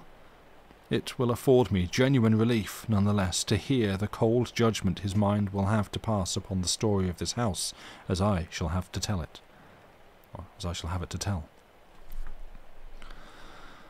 December 2nd. The strangest part of it all I have not referred to in this brief diary. Truth to tell, I have been afraid to set it down in black and white. I have kept it in the background of my thoughts, preventing it as far as possible from taking shape. In spite of my efforts, however, it has continued to grow stronger. Now that I come to face the issue squarely, it is harder to express than I imagined like a half remembered melody that trips in the head but vanishes the moment you try to sing it, these thoughts form a group in the background of my mind, behind my mind, as it were, and refuse to come forward. They are crouching, ready to spring, but the actual leap never takes place. In these rooms, except when my mind is strongly concentrated on my own work, I find myself suddenly dealing in thoughts and ideas that are not my own new, strange conceptions, wholly foreign to my temperament, are forever cropping up in my head. What precisely they are is of no particular importance. The point is that they are entirely apart from the channel in which my thoughts have hitherto been accustomed to flow. Especially they come when my mind is at rest, unoccupied. When I'm dreaming over the fire, or sitting with a book which fails to hold my attention. These, then, these thoughts which are not mine spring into life and make me feel exceedingly uncomfortable. Sometimes they are so strong that I almost feel as if someone were in the room beside me, thinking aloud. Evidently, my nerves and liver are shockingly out of order. I must work harder and take more vigorous exercise. The horrid thoughts never came when my mind is much occupied. But they are always there, waiting and, as it were, alive. What I have attempted to describe above came first upon me gradually after I, after I had been some days in the house, and then grew steadily in strength. The other strange thing has come to me only twice in all these weeks. it appalls me. It is the, consci- the consciousness of the propinquity of some deadly and loathsome disease. It comes over me like a wave of fever heat, then passes off, leaving me cold and trembling. The air seems, for a few seconds, to become tainted. So penetrating and convincing is the thought of this sickness that on both occasions my brain has turned momentarily dizzy, and through my mind, like flames of white heat, have flashed the ominous names of all the dangerous illnesses I know. I can no more explain these visitations than I can fly, yet I know there is no dreaming about the clammy skin and palpitating heart which they always leave as witnesses of their brief visit. Most strongly of all was I aware of this nearness of a mortal sickness when, on the night of the twenty eighth, I went upstairs in pursuit of the listening figure. When we were shut in together, in that little square room under the roof, I felt that I was face to face with the actual essence of this invisible and malignant disease. Such a feeling never entered my heart before, and I pray to God it may never again. There, now I have confessed. I have given some expression, at least, to the feelings that so far I have been afraid to see in my own writing.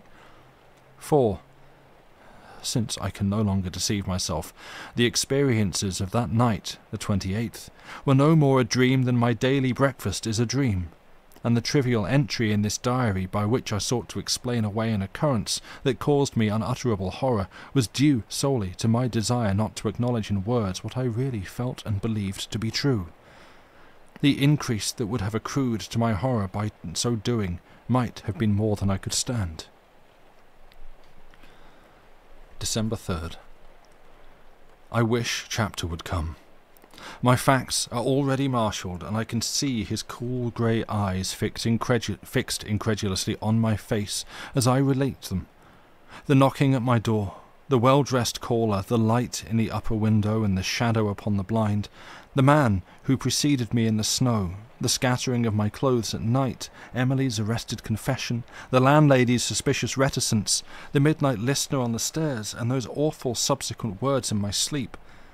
And above all, the hardest to tell, the presence of the abominable sickness and the stream of thoughts and ideas that are not my own.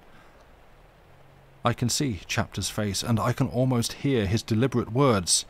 You've been at the tea again, and under feeding, I expect, as usual. Excuse the loud cars. Better see my nerve doctor, and then come with me to the south of France. For this fellow, who knows nothing of disordered liver or high strung nerves, goes regularly to a great nerve specialist with the periodical belief that his nervous system is beginning to decay. December 5th. Ever since the incident of the listener, I have kept a night light burning in my bedroom, and my sleep has been undisturbed.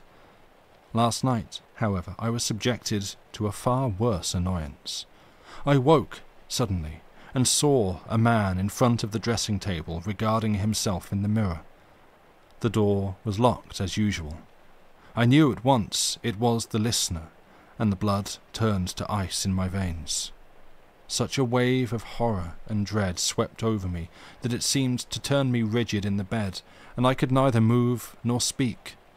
I noted, however, that the odour I so abhorred was strong in the room. The man seems to be tall and broad. He was stooping forward over the mirror. His back was turned to me, but in the glass I saw the reflection of a huge head and face, illumined fitfully by the flicker of the nightlight. The spectral grey of the very early morning, stealing in round the edges of the curtains, lent an additional horror to the picture, for it fell upon hair that was tawny and mane-like, hanging loosely about a face whose swollen, rugose features bore the once seen, never forgotten leonine expression of. I dare not write that awful word. But, by way of corroborative proof, I saw on the faint I saw in the faint mingling of the two lights that there were several bronze coloured blotches on the cheeks, which the man was evidently examining with great care in the glass. The lips were pale and very thick and large. One hand I could not see, but the other rested on the ivory back of my hairbrush. Its muscles were strangely contracted, the fingers thin to emaciation, the back of the hand close, closely puckered up. It was like a big grey spider crouching to spring, or the claw of a great bird. The full realization that I was alone in the room with this nameless creature almost within arm's reach of him overcame me to such a degree that, when he suddenly turned and regarded me with small beady eyes wholly out of proportion with the grandeur of their massive setting, I sat bolt upright in bed, uttered a loud cry, and then fell back in a dead swoon of terror upon the bed. December 5th. When I came to this morning, the first thing I noticed was that my clothes were strewn all over the floor. I find it difficult to put my thoughts together and have sudden accesses, accesses of violent trembling. I determined that I would go at once to Chapter's hotel and find out when he is expected. I cannot refer to what happened in the night. It is too awful, and I have to keep my thoughts rigorously away from it. I feel light-headed and queer, couldn't eat any breakfast, and have twice vomited with blood. While dressing to go out, a hansom rattled up noisily over the cobbles, and a minute later the door opened, and to my great joy in walked the very subject of my thoughts. The sight of his strong face and quiet eyes had an immediate effect upon me, and I grew calmer again. His very handshake was a sort of tonic. But as I listened eagerly to the deep tones of his reassuring voice, and the visions of the night time and the visions of the night time paled a little, I began to realize how very hard it was going to be to tell him my wild, intangible tale. Some men radiate an animal vigor that destroys the delicate woof of a vision, and effectually prevents its re- reconstruction. Chapter was one of these men. We talked of incidents that had filled the interval since last we met, and he told me something of his travels. He talked, and I listened. But so full was I of the horrid thing I had to tell that I made a poor listener. I was for ever watching my opportunity to leap in and explode it all under his nose. Before very long, however, it was borne in upon me that he, too, was merely talking for time. He too held something of importance in the background of his mind, something too weighty to let fall till the right moment presented itself. So that during the whole of the first half hour we were both waiting for the psychological moment in which in which to proper, uh, in which properly to release our respective bombs, and the intensity of our mind's action set up opposing forces that merely sufficed to hold one another in check, and nothing more. As soon as I realized this, therefore, I resolved to yield. I renounced for the time my purpose of telling my story, and had the satisfaction of seeing that his mind, released from the restraint of my own, at once began to make preparations for the discharge of its momentous burden. The talk grew less and less magnetic. The interest waned. The descriptions of his travels became less alive. There were pauses between his sentences. Presently he repeated himself. His words clothed no living thoughts. The pauses grew longer. Then the interest dwindled altogether, and he went out like a candle in the wind. His voice ceased, and he looked up squarely into my face, with a serious, with serious and anxious eyes. The psychological moment had come at last. I say, he began, and then stopped short. I made an unconscious gesture of encouragement, but said no word. I dreaded the impending disclosure exceedingly. A dark shadow seemed to precede it. I say, he blurted out at last, what in the world made you ever come to this place? To these rooms, I mean. They're cheap, for one thing, I began. And central, and. They're too cheap, he interrupted. Didn't you ask what made them so cheap? It never occurred to me at the time. There was a pause in which he avoided my eyes.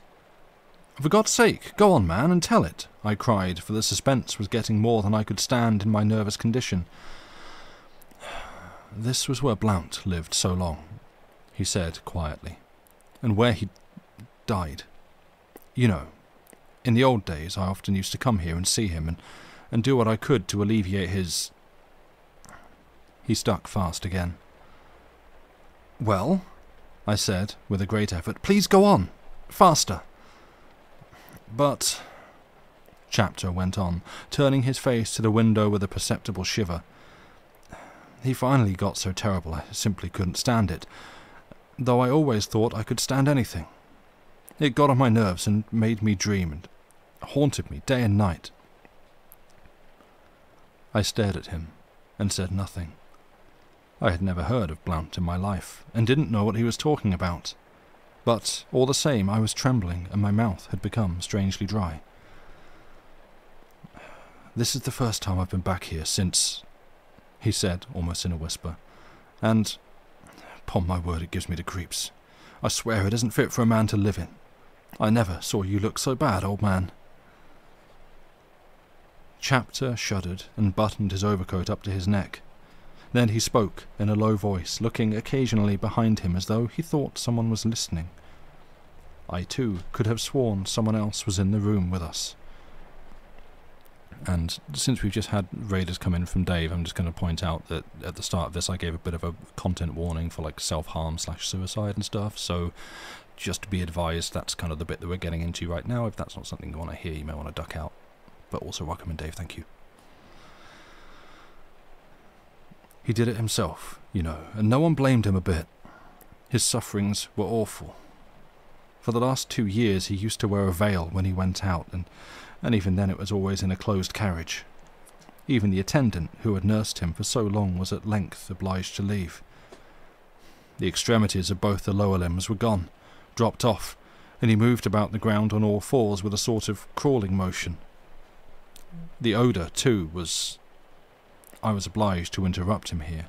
I could hear no more details of that sort. My, my skin was moist. I felt hot and cold by turns, for at last I was beginning to understand. Poor devil. Chapter went on. I used to keep my eyes closed as much as possible. He always begged to be allowed to take his veil off and asked if I minded very much. I, I used to stand by the open window. He never touched me, though. He rented the whole house. Nothing would induce him to leave it.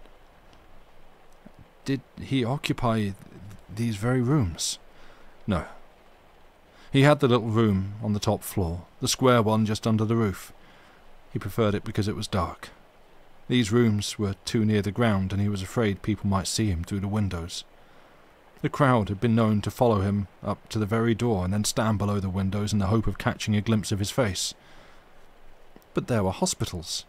He wouldn't go near one, and they didn't like to force him.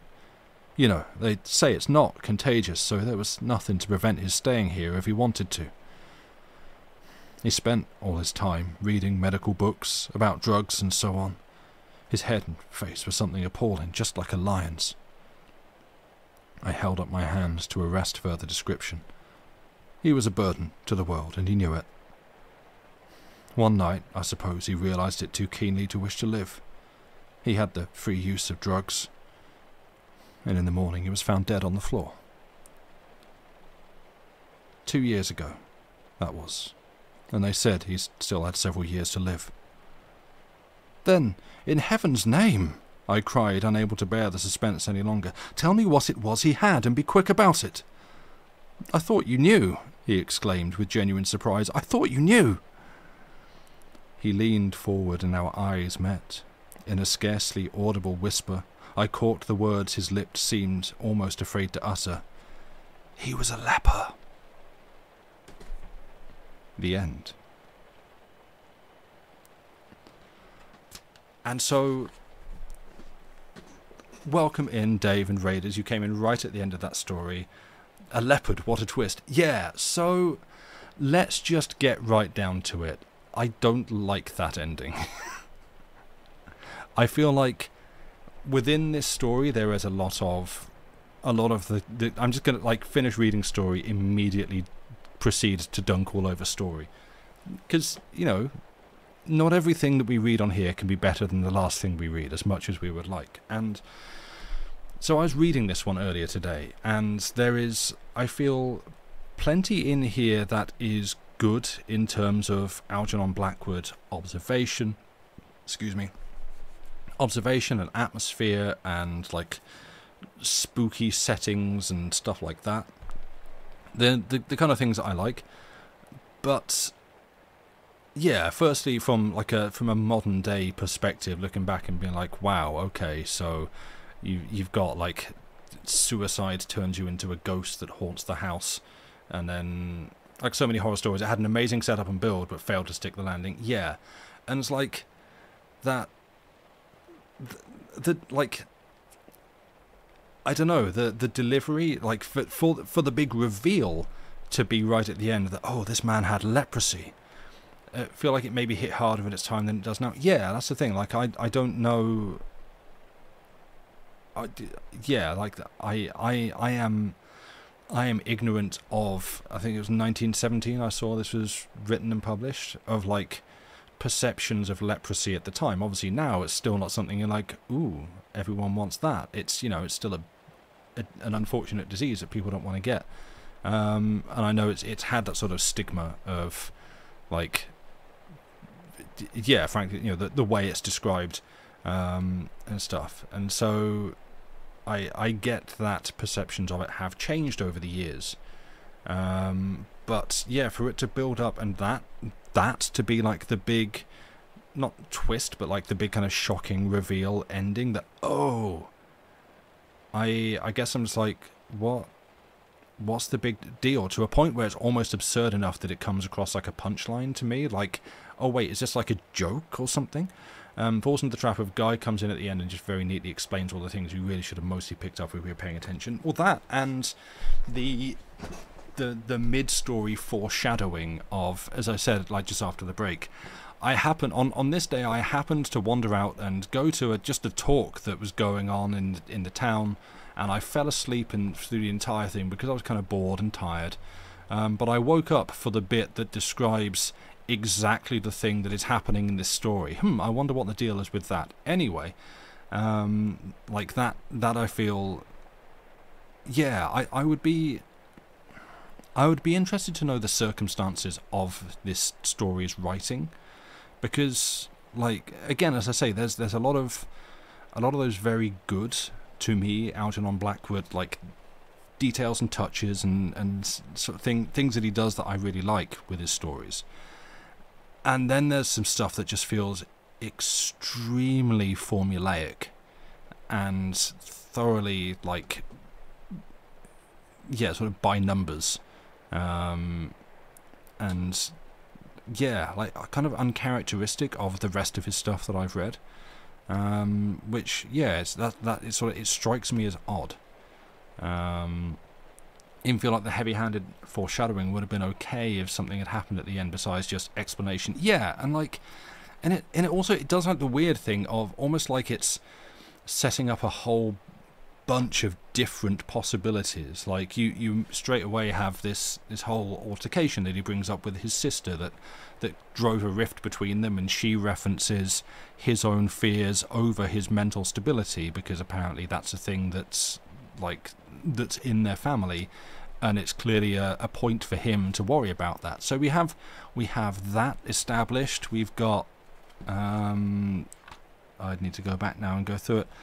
There's, um, yeah, I, feel like there were like a number of different different sort of threads and strands set up. Like, well, like you were saying about the whole um, in the the edition linked in chat that excises all mentions of the kid. And this one, you've got like you know this this child keeps doing these pulling his toy across the cobbles stuff, and it's really annoying me. And we we can just scrub that out of the story, and it doesn't seemingly affect it in any way.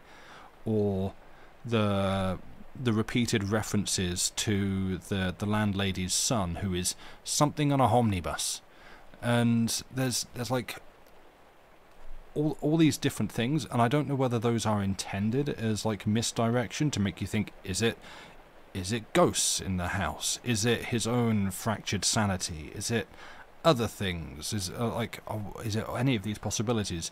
Ah, wait, it was exactly what you foreshadowed. Like I don't, yeah, and so and so this is why I read it because it's you know, again, it's it's an interesting one to me. It doesn't necessarily mean it's a great story, but it's it's fun and it's interesting to read something you don't necessarily like because it still helps to give you a point of reference on the stuff that you do. Like, yeah, it's for again for someone who, as I was saying last week, I've really loved getting back to reading Algernon Blackwood's writing because there's so much in here that I enjoy.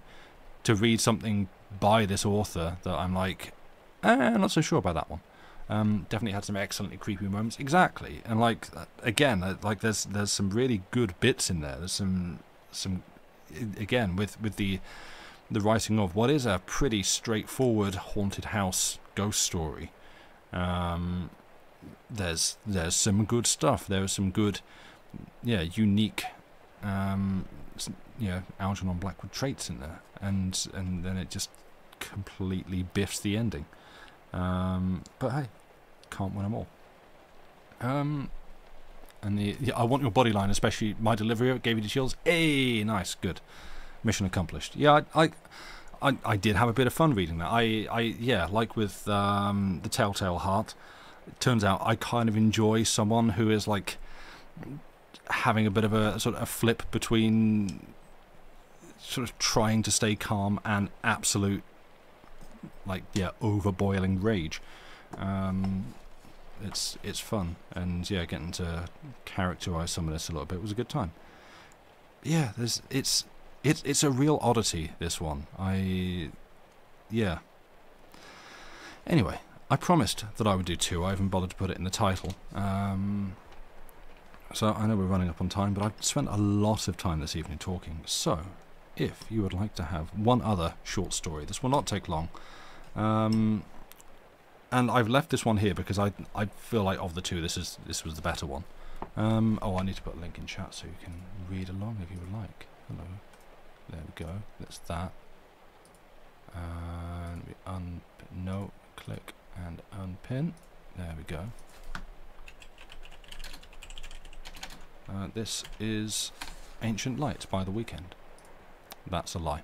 It's a very good joke though. And to be fair, if you consume a lot of horror media, the trope of good setup, botched ending is so typical of middle grade horror. Yes, true. Like, yeah, it's it is well because you know again it's it's fun to fun to look at this as, say, like, as an artifact and sort of look at it, pick over it, and just sort of think to myself, if I were doing this, how would I do it differently? Because again, it's like, what's what can I learn from this? What can I take from this? What's good about it, and what would I change? How would I Will I try to do more with the misdirects? Will I? Because I'm, I'm, as I've said before, I'm also not a fan of. Oh, I was just mad, and imagining the whole thing. or was I? That's also just kind of cheap and played out. So, you know, it's yeah, it's it's good to to stop and stop and think about these. But yeah, there is there is your text in chat if you would like to read along, or linked in the, the comments below if you're listening on YouTube, which I always forget to mention. And if you are ready, we shall have our second story for tonight. It'll be short. It is also by Algernon Blackwood, and it is called Ancient Lights. From Southwater, where he left the train, the road led due west. That he knew, for the rest he trusted to luck, being one of those born walkers who dislike asking along the way. He had that instinct, and as a rule it served him well. A mile or so due west along the sandy road, till he come to till he come to a stile on the right, then across the fields. You'll see the red house straight before you.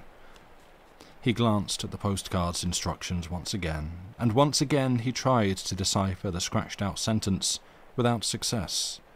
It had been so elaborately inked over that no word was legible. Inked out sentences in a letter were always enticing. He wondered what it was that had been so very carefully obliterated. The afternoon was boisterous, with a tearing, shouting wind that blew from the sea across the Sussex Weald. Massive clouds with rounded, piled up edges cannoned across gaping spaces of blue sky. Far away, the line of downs swept the horizon like an arriving wave. Chanctonbury Ring rode their crest, a scudding ship hull down before the wind. He took his hat off and walked rapidly, breathing great draughts of air with delight and exhilaration.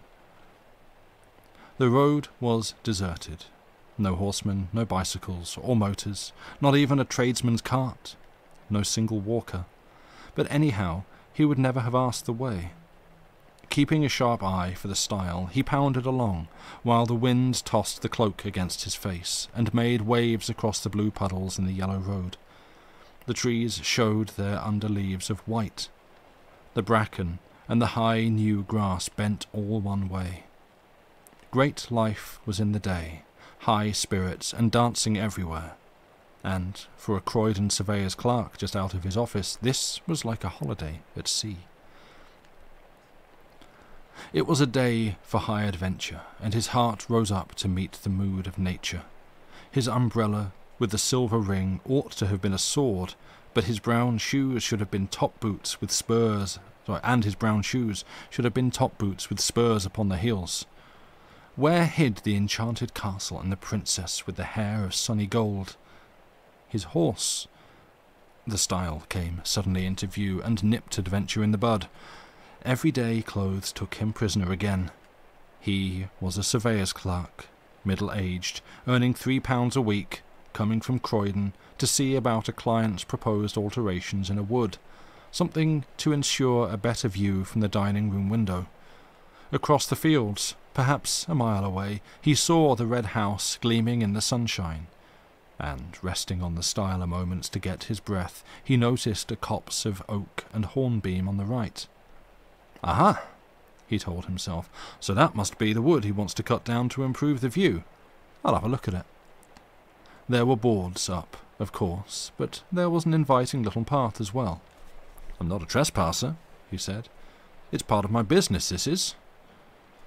He scrambled awkwardly over the gate and entered the copse. A little round would bring him to the field again. But the moment he passed among the trees, the wind ceased shouting, and the stillness dropped upon the world. So dense was the growth that the sunshine only came through in isolated patches. The air was close. He mopped his forehead and put his green felt hat on, but a low branch knocked it off again at once, and as he stopped, an elastic twig swung back and stung his face. There were flowers along both edges of the little path, Glades opened on either side, ferns curved about in damper corners, and the smell of earth and foliage was rich and sweet. It was cooler here. What an enchanting little wood, he thought, turning down a small green glade where the sunshine flickered like silver wings.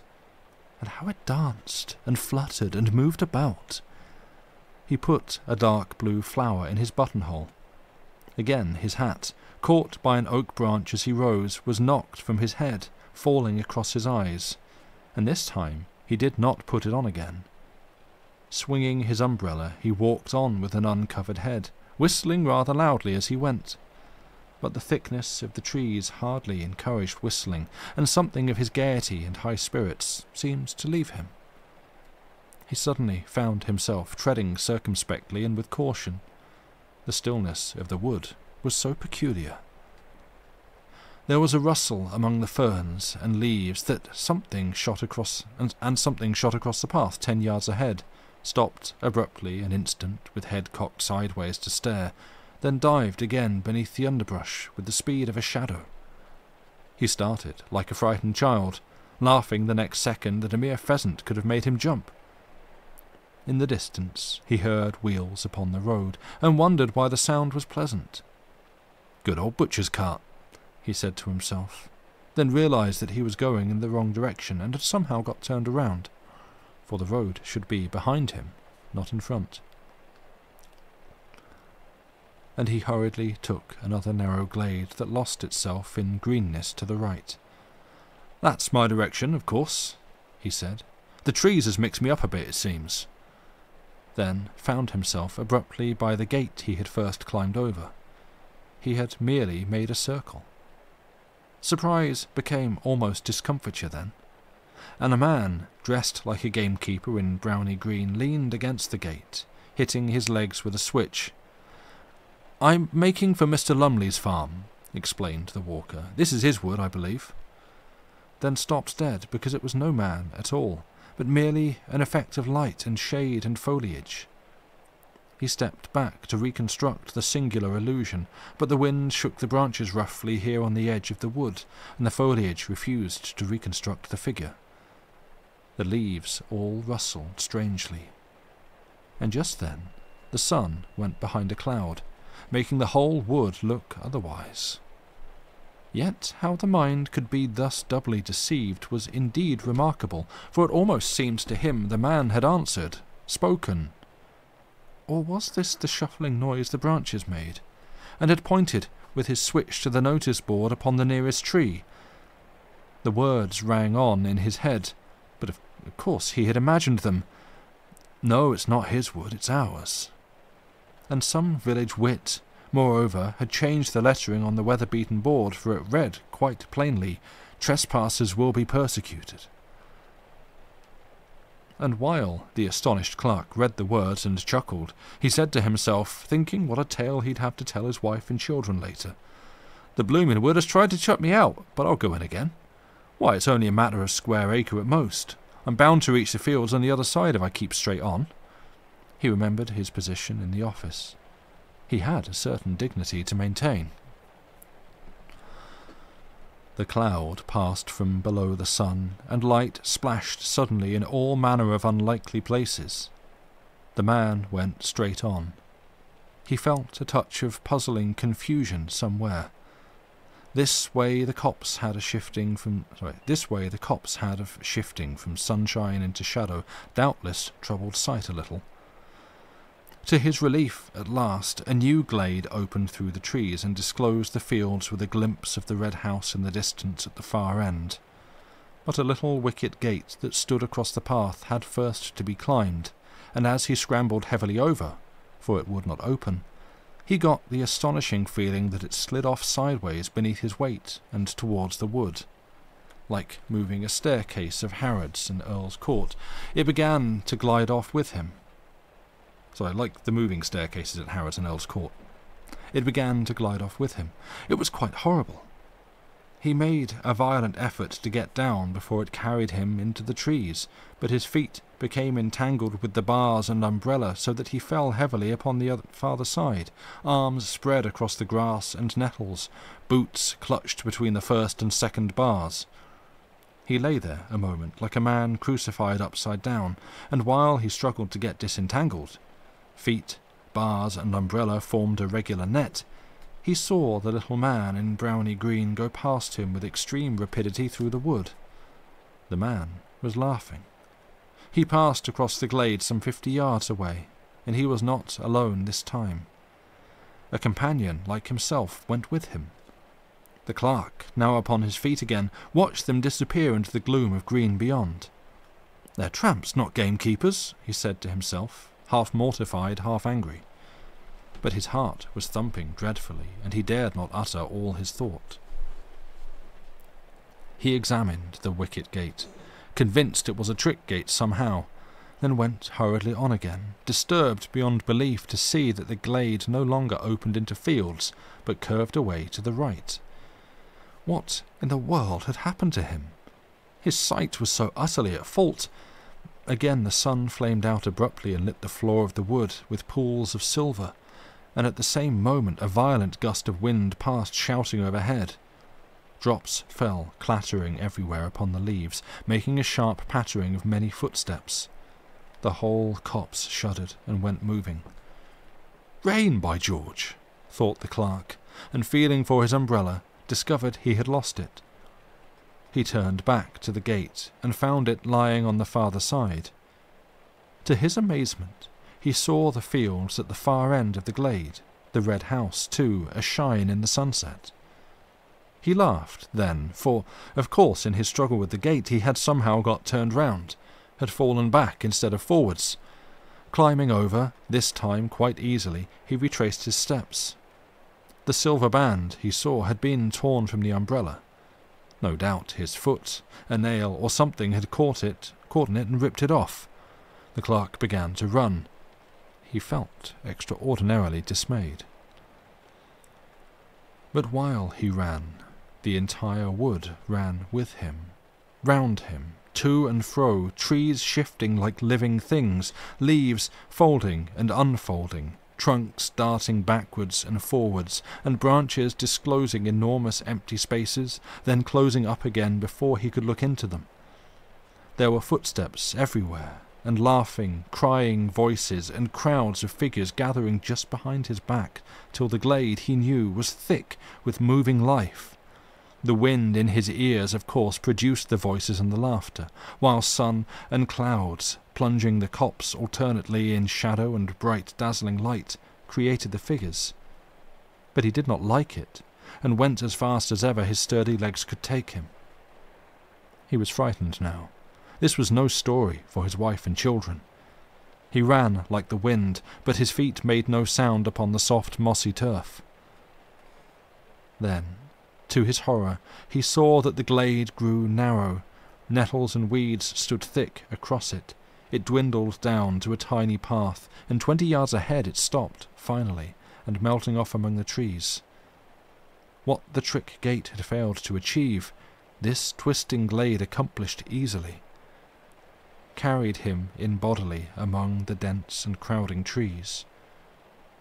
There was only one thing to do turn sharply and dash back again, run headlong into the life that followed at his back, followed so closely too that now it almost touched him, pushing him in. And with reckless courage, this was what he did. It seemed a fearful thing to do, he turned with a sort of violent spring, head down and shoulders forward, hands stretched before his face. He made the plunge. Like a hunted creature, he charged full tilt the other way, meeting the wind now in his face. Good Lord! The glade behind him had closed up as well. There was no longer any path at all. Turning round and round like an animal at bay, he searched for an opening, a way of escape, searched frantically, breathlessly, terrified now in his bones. But foliage surrounded him. Branches blocked the way. The trees stood close and still, unshaken by a breath of wind. The sun dipped that moment behind a great black cloud. The entire wood turned dark and silent. It watched him. Perhaps it was this final touch of sudden blackness that made him act so foolishly, as though he had really lost his head. At any rate, without pausing to think, he dashed headlong in amongst the trees again. There was a sensation of being stiflingly surrounded and entangled, and that he must break out at all costs, out and away into the open of the blessed fields and air. He did this ill-considered thing, and apparently charged straight into an oak that deliberately moved into his path to stop him. He saw it shift across a good full yard, and being a measuring man, accustomed to theodolite and chain, he ought to know. He fell, saw stars, and felt a thousand tiny fingers tugging and pulling at his hands and neck and ankles. The stinging nettles, no doubt, were responsible for this. He thought of it later, at the moment, it felt diabolically calculated. But another remarkable illusion was not so easily explained. For all in a moment, it seemed, the entire wood went sliding past him with a thick, deep rustling of leaves and laughter, myriad footsteps, and tiny little active, energetic shapes. Two men in browny green gave him a mighty hoist, and he opened his eyes to find himself lying in the meadow beside the stile where first his incredible adventure had begun. The wood stood in its usual place and stared down upon him in the sunlight. There was the red house in the distance as before. Above him grinned the weather-beaten notice board. Notice board. Trespassers will be prosecuted. Dishevelled in mind and body, and a good deal shaken in his official soul, the clerk walked slowly across the fields. But on the way he glanced once more at the postcard of instructions, and saw with dull amazement that the inked-out sentence was quite legible after all beneath the scratches made across it.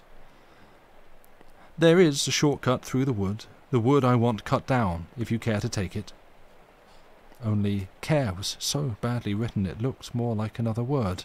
The C was uncommonly like D. That's the copse that spoils my view of the downs, you see, his client explained to him later, pointing across the fields, and referring to the ordnance map beside him. I want it cut down and a path made, so and so. His finger indicated direction on the map. The Fairy Woods, it's still called, and it's far older than this house. Come now, if you're ready, Mr. Thomas. We might go out and have a look at it. The end. Thank you for listening.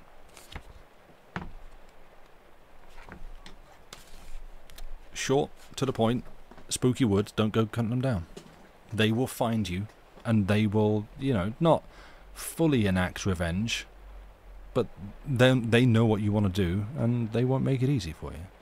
And yeah, I, I like that one. It's, yeah, kind of in contrast to the previous one. It it explains a bit, perhaps a little bit more than necessary, but it's it doesn't it doesn't labour anything. It doesn't like oh yes, fairy woods never trust a fairy. No, don't you know, again don't don't go chopping down their trees. Certainly don't be frankly, a rich Tory who wants to go and chop down the trees for a better view from his kitchen.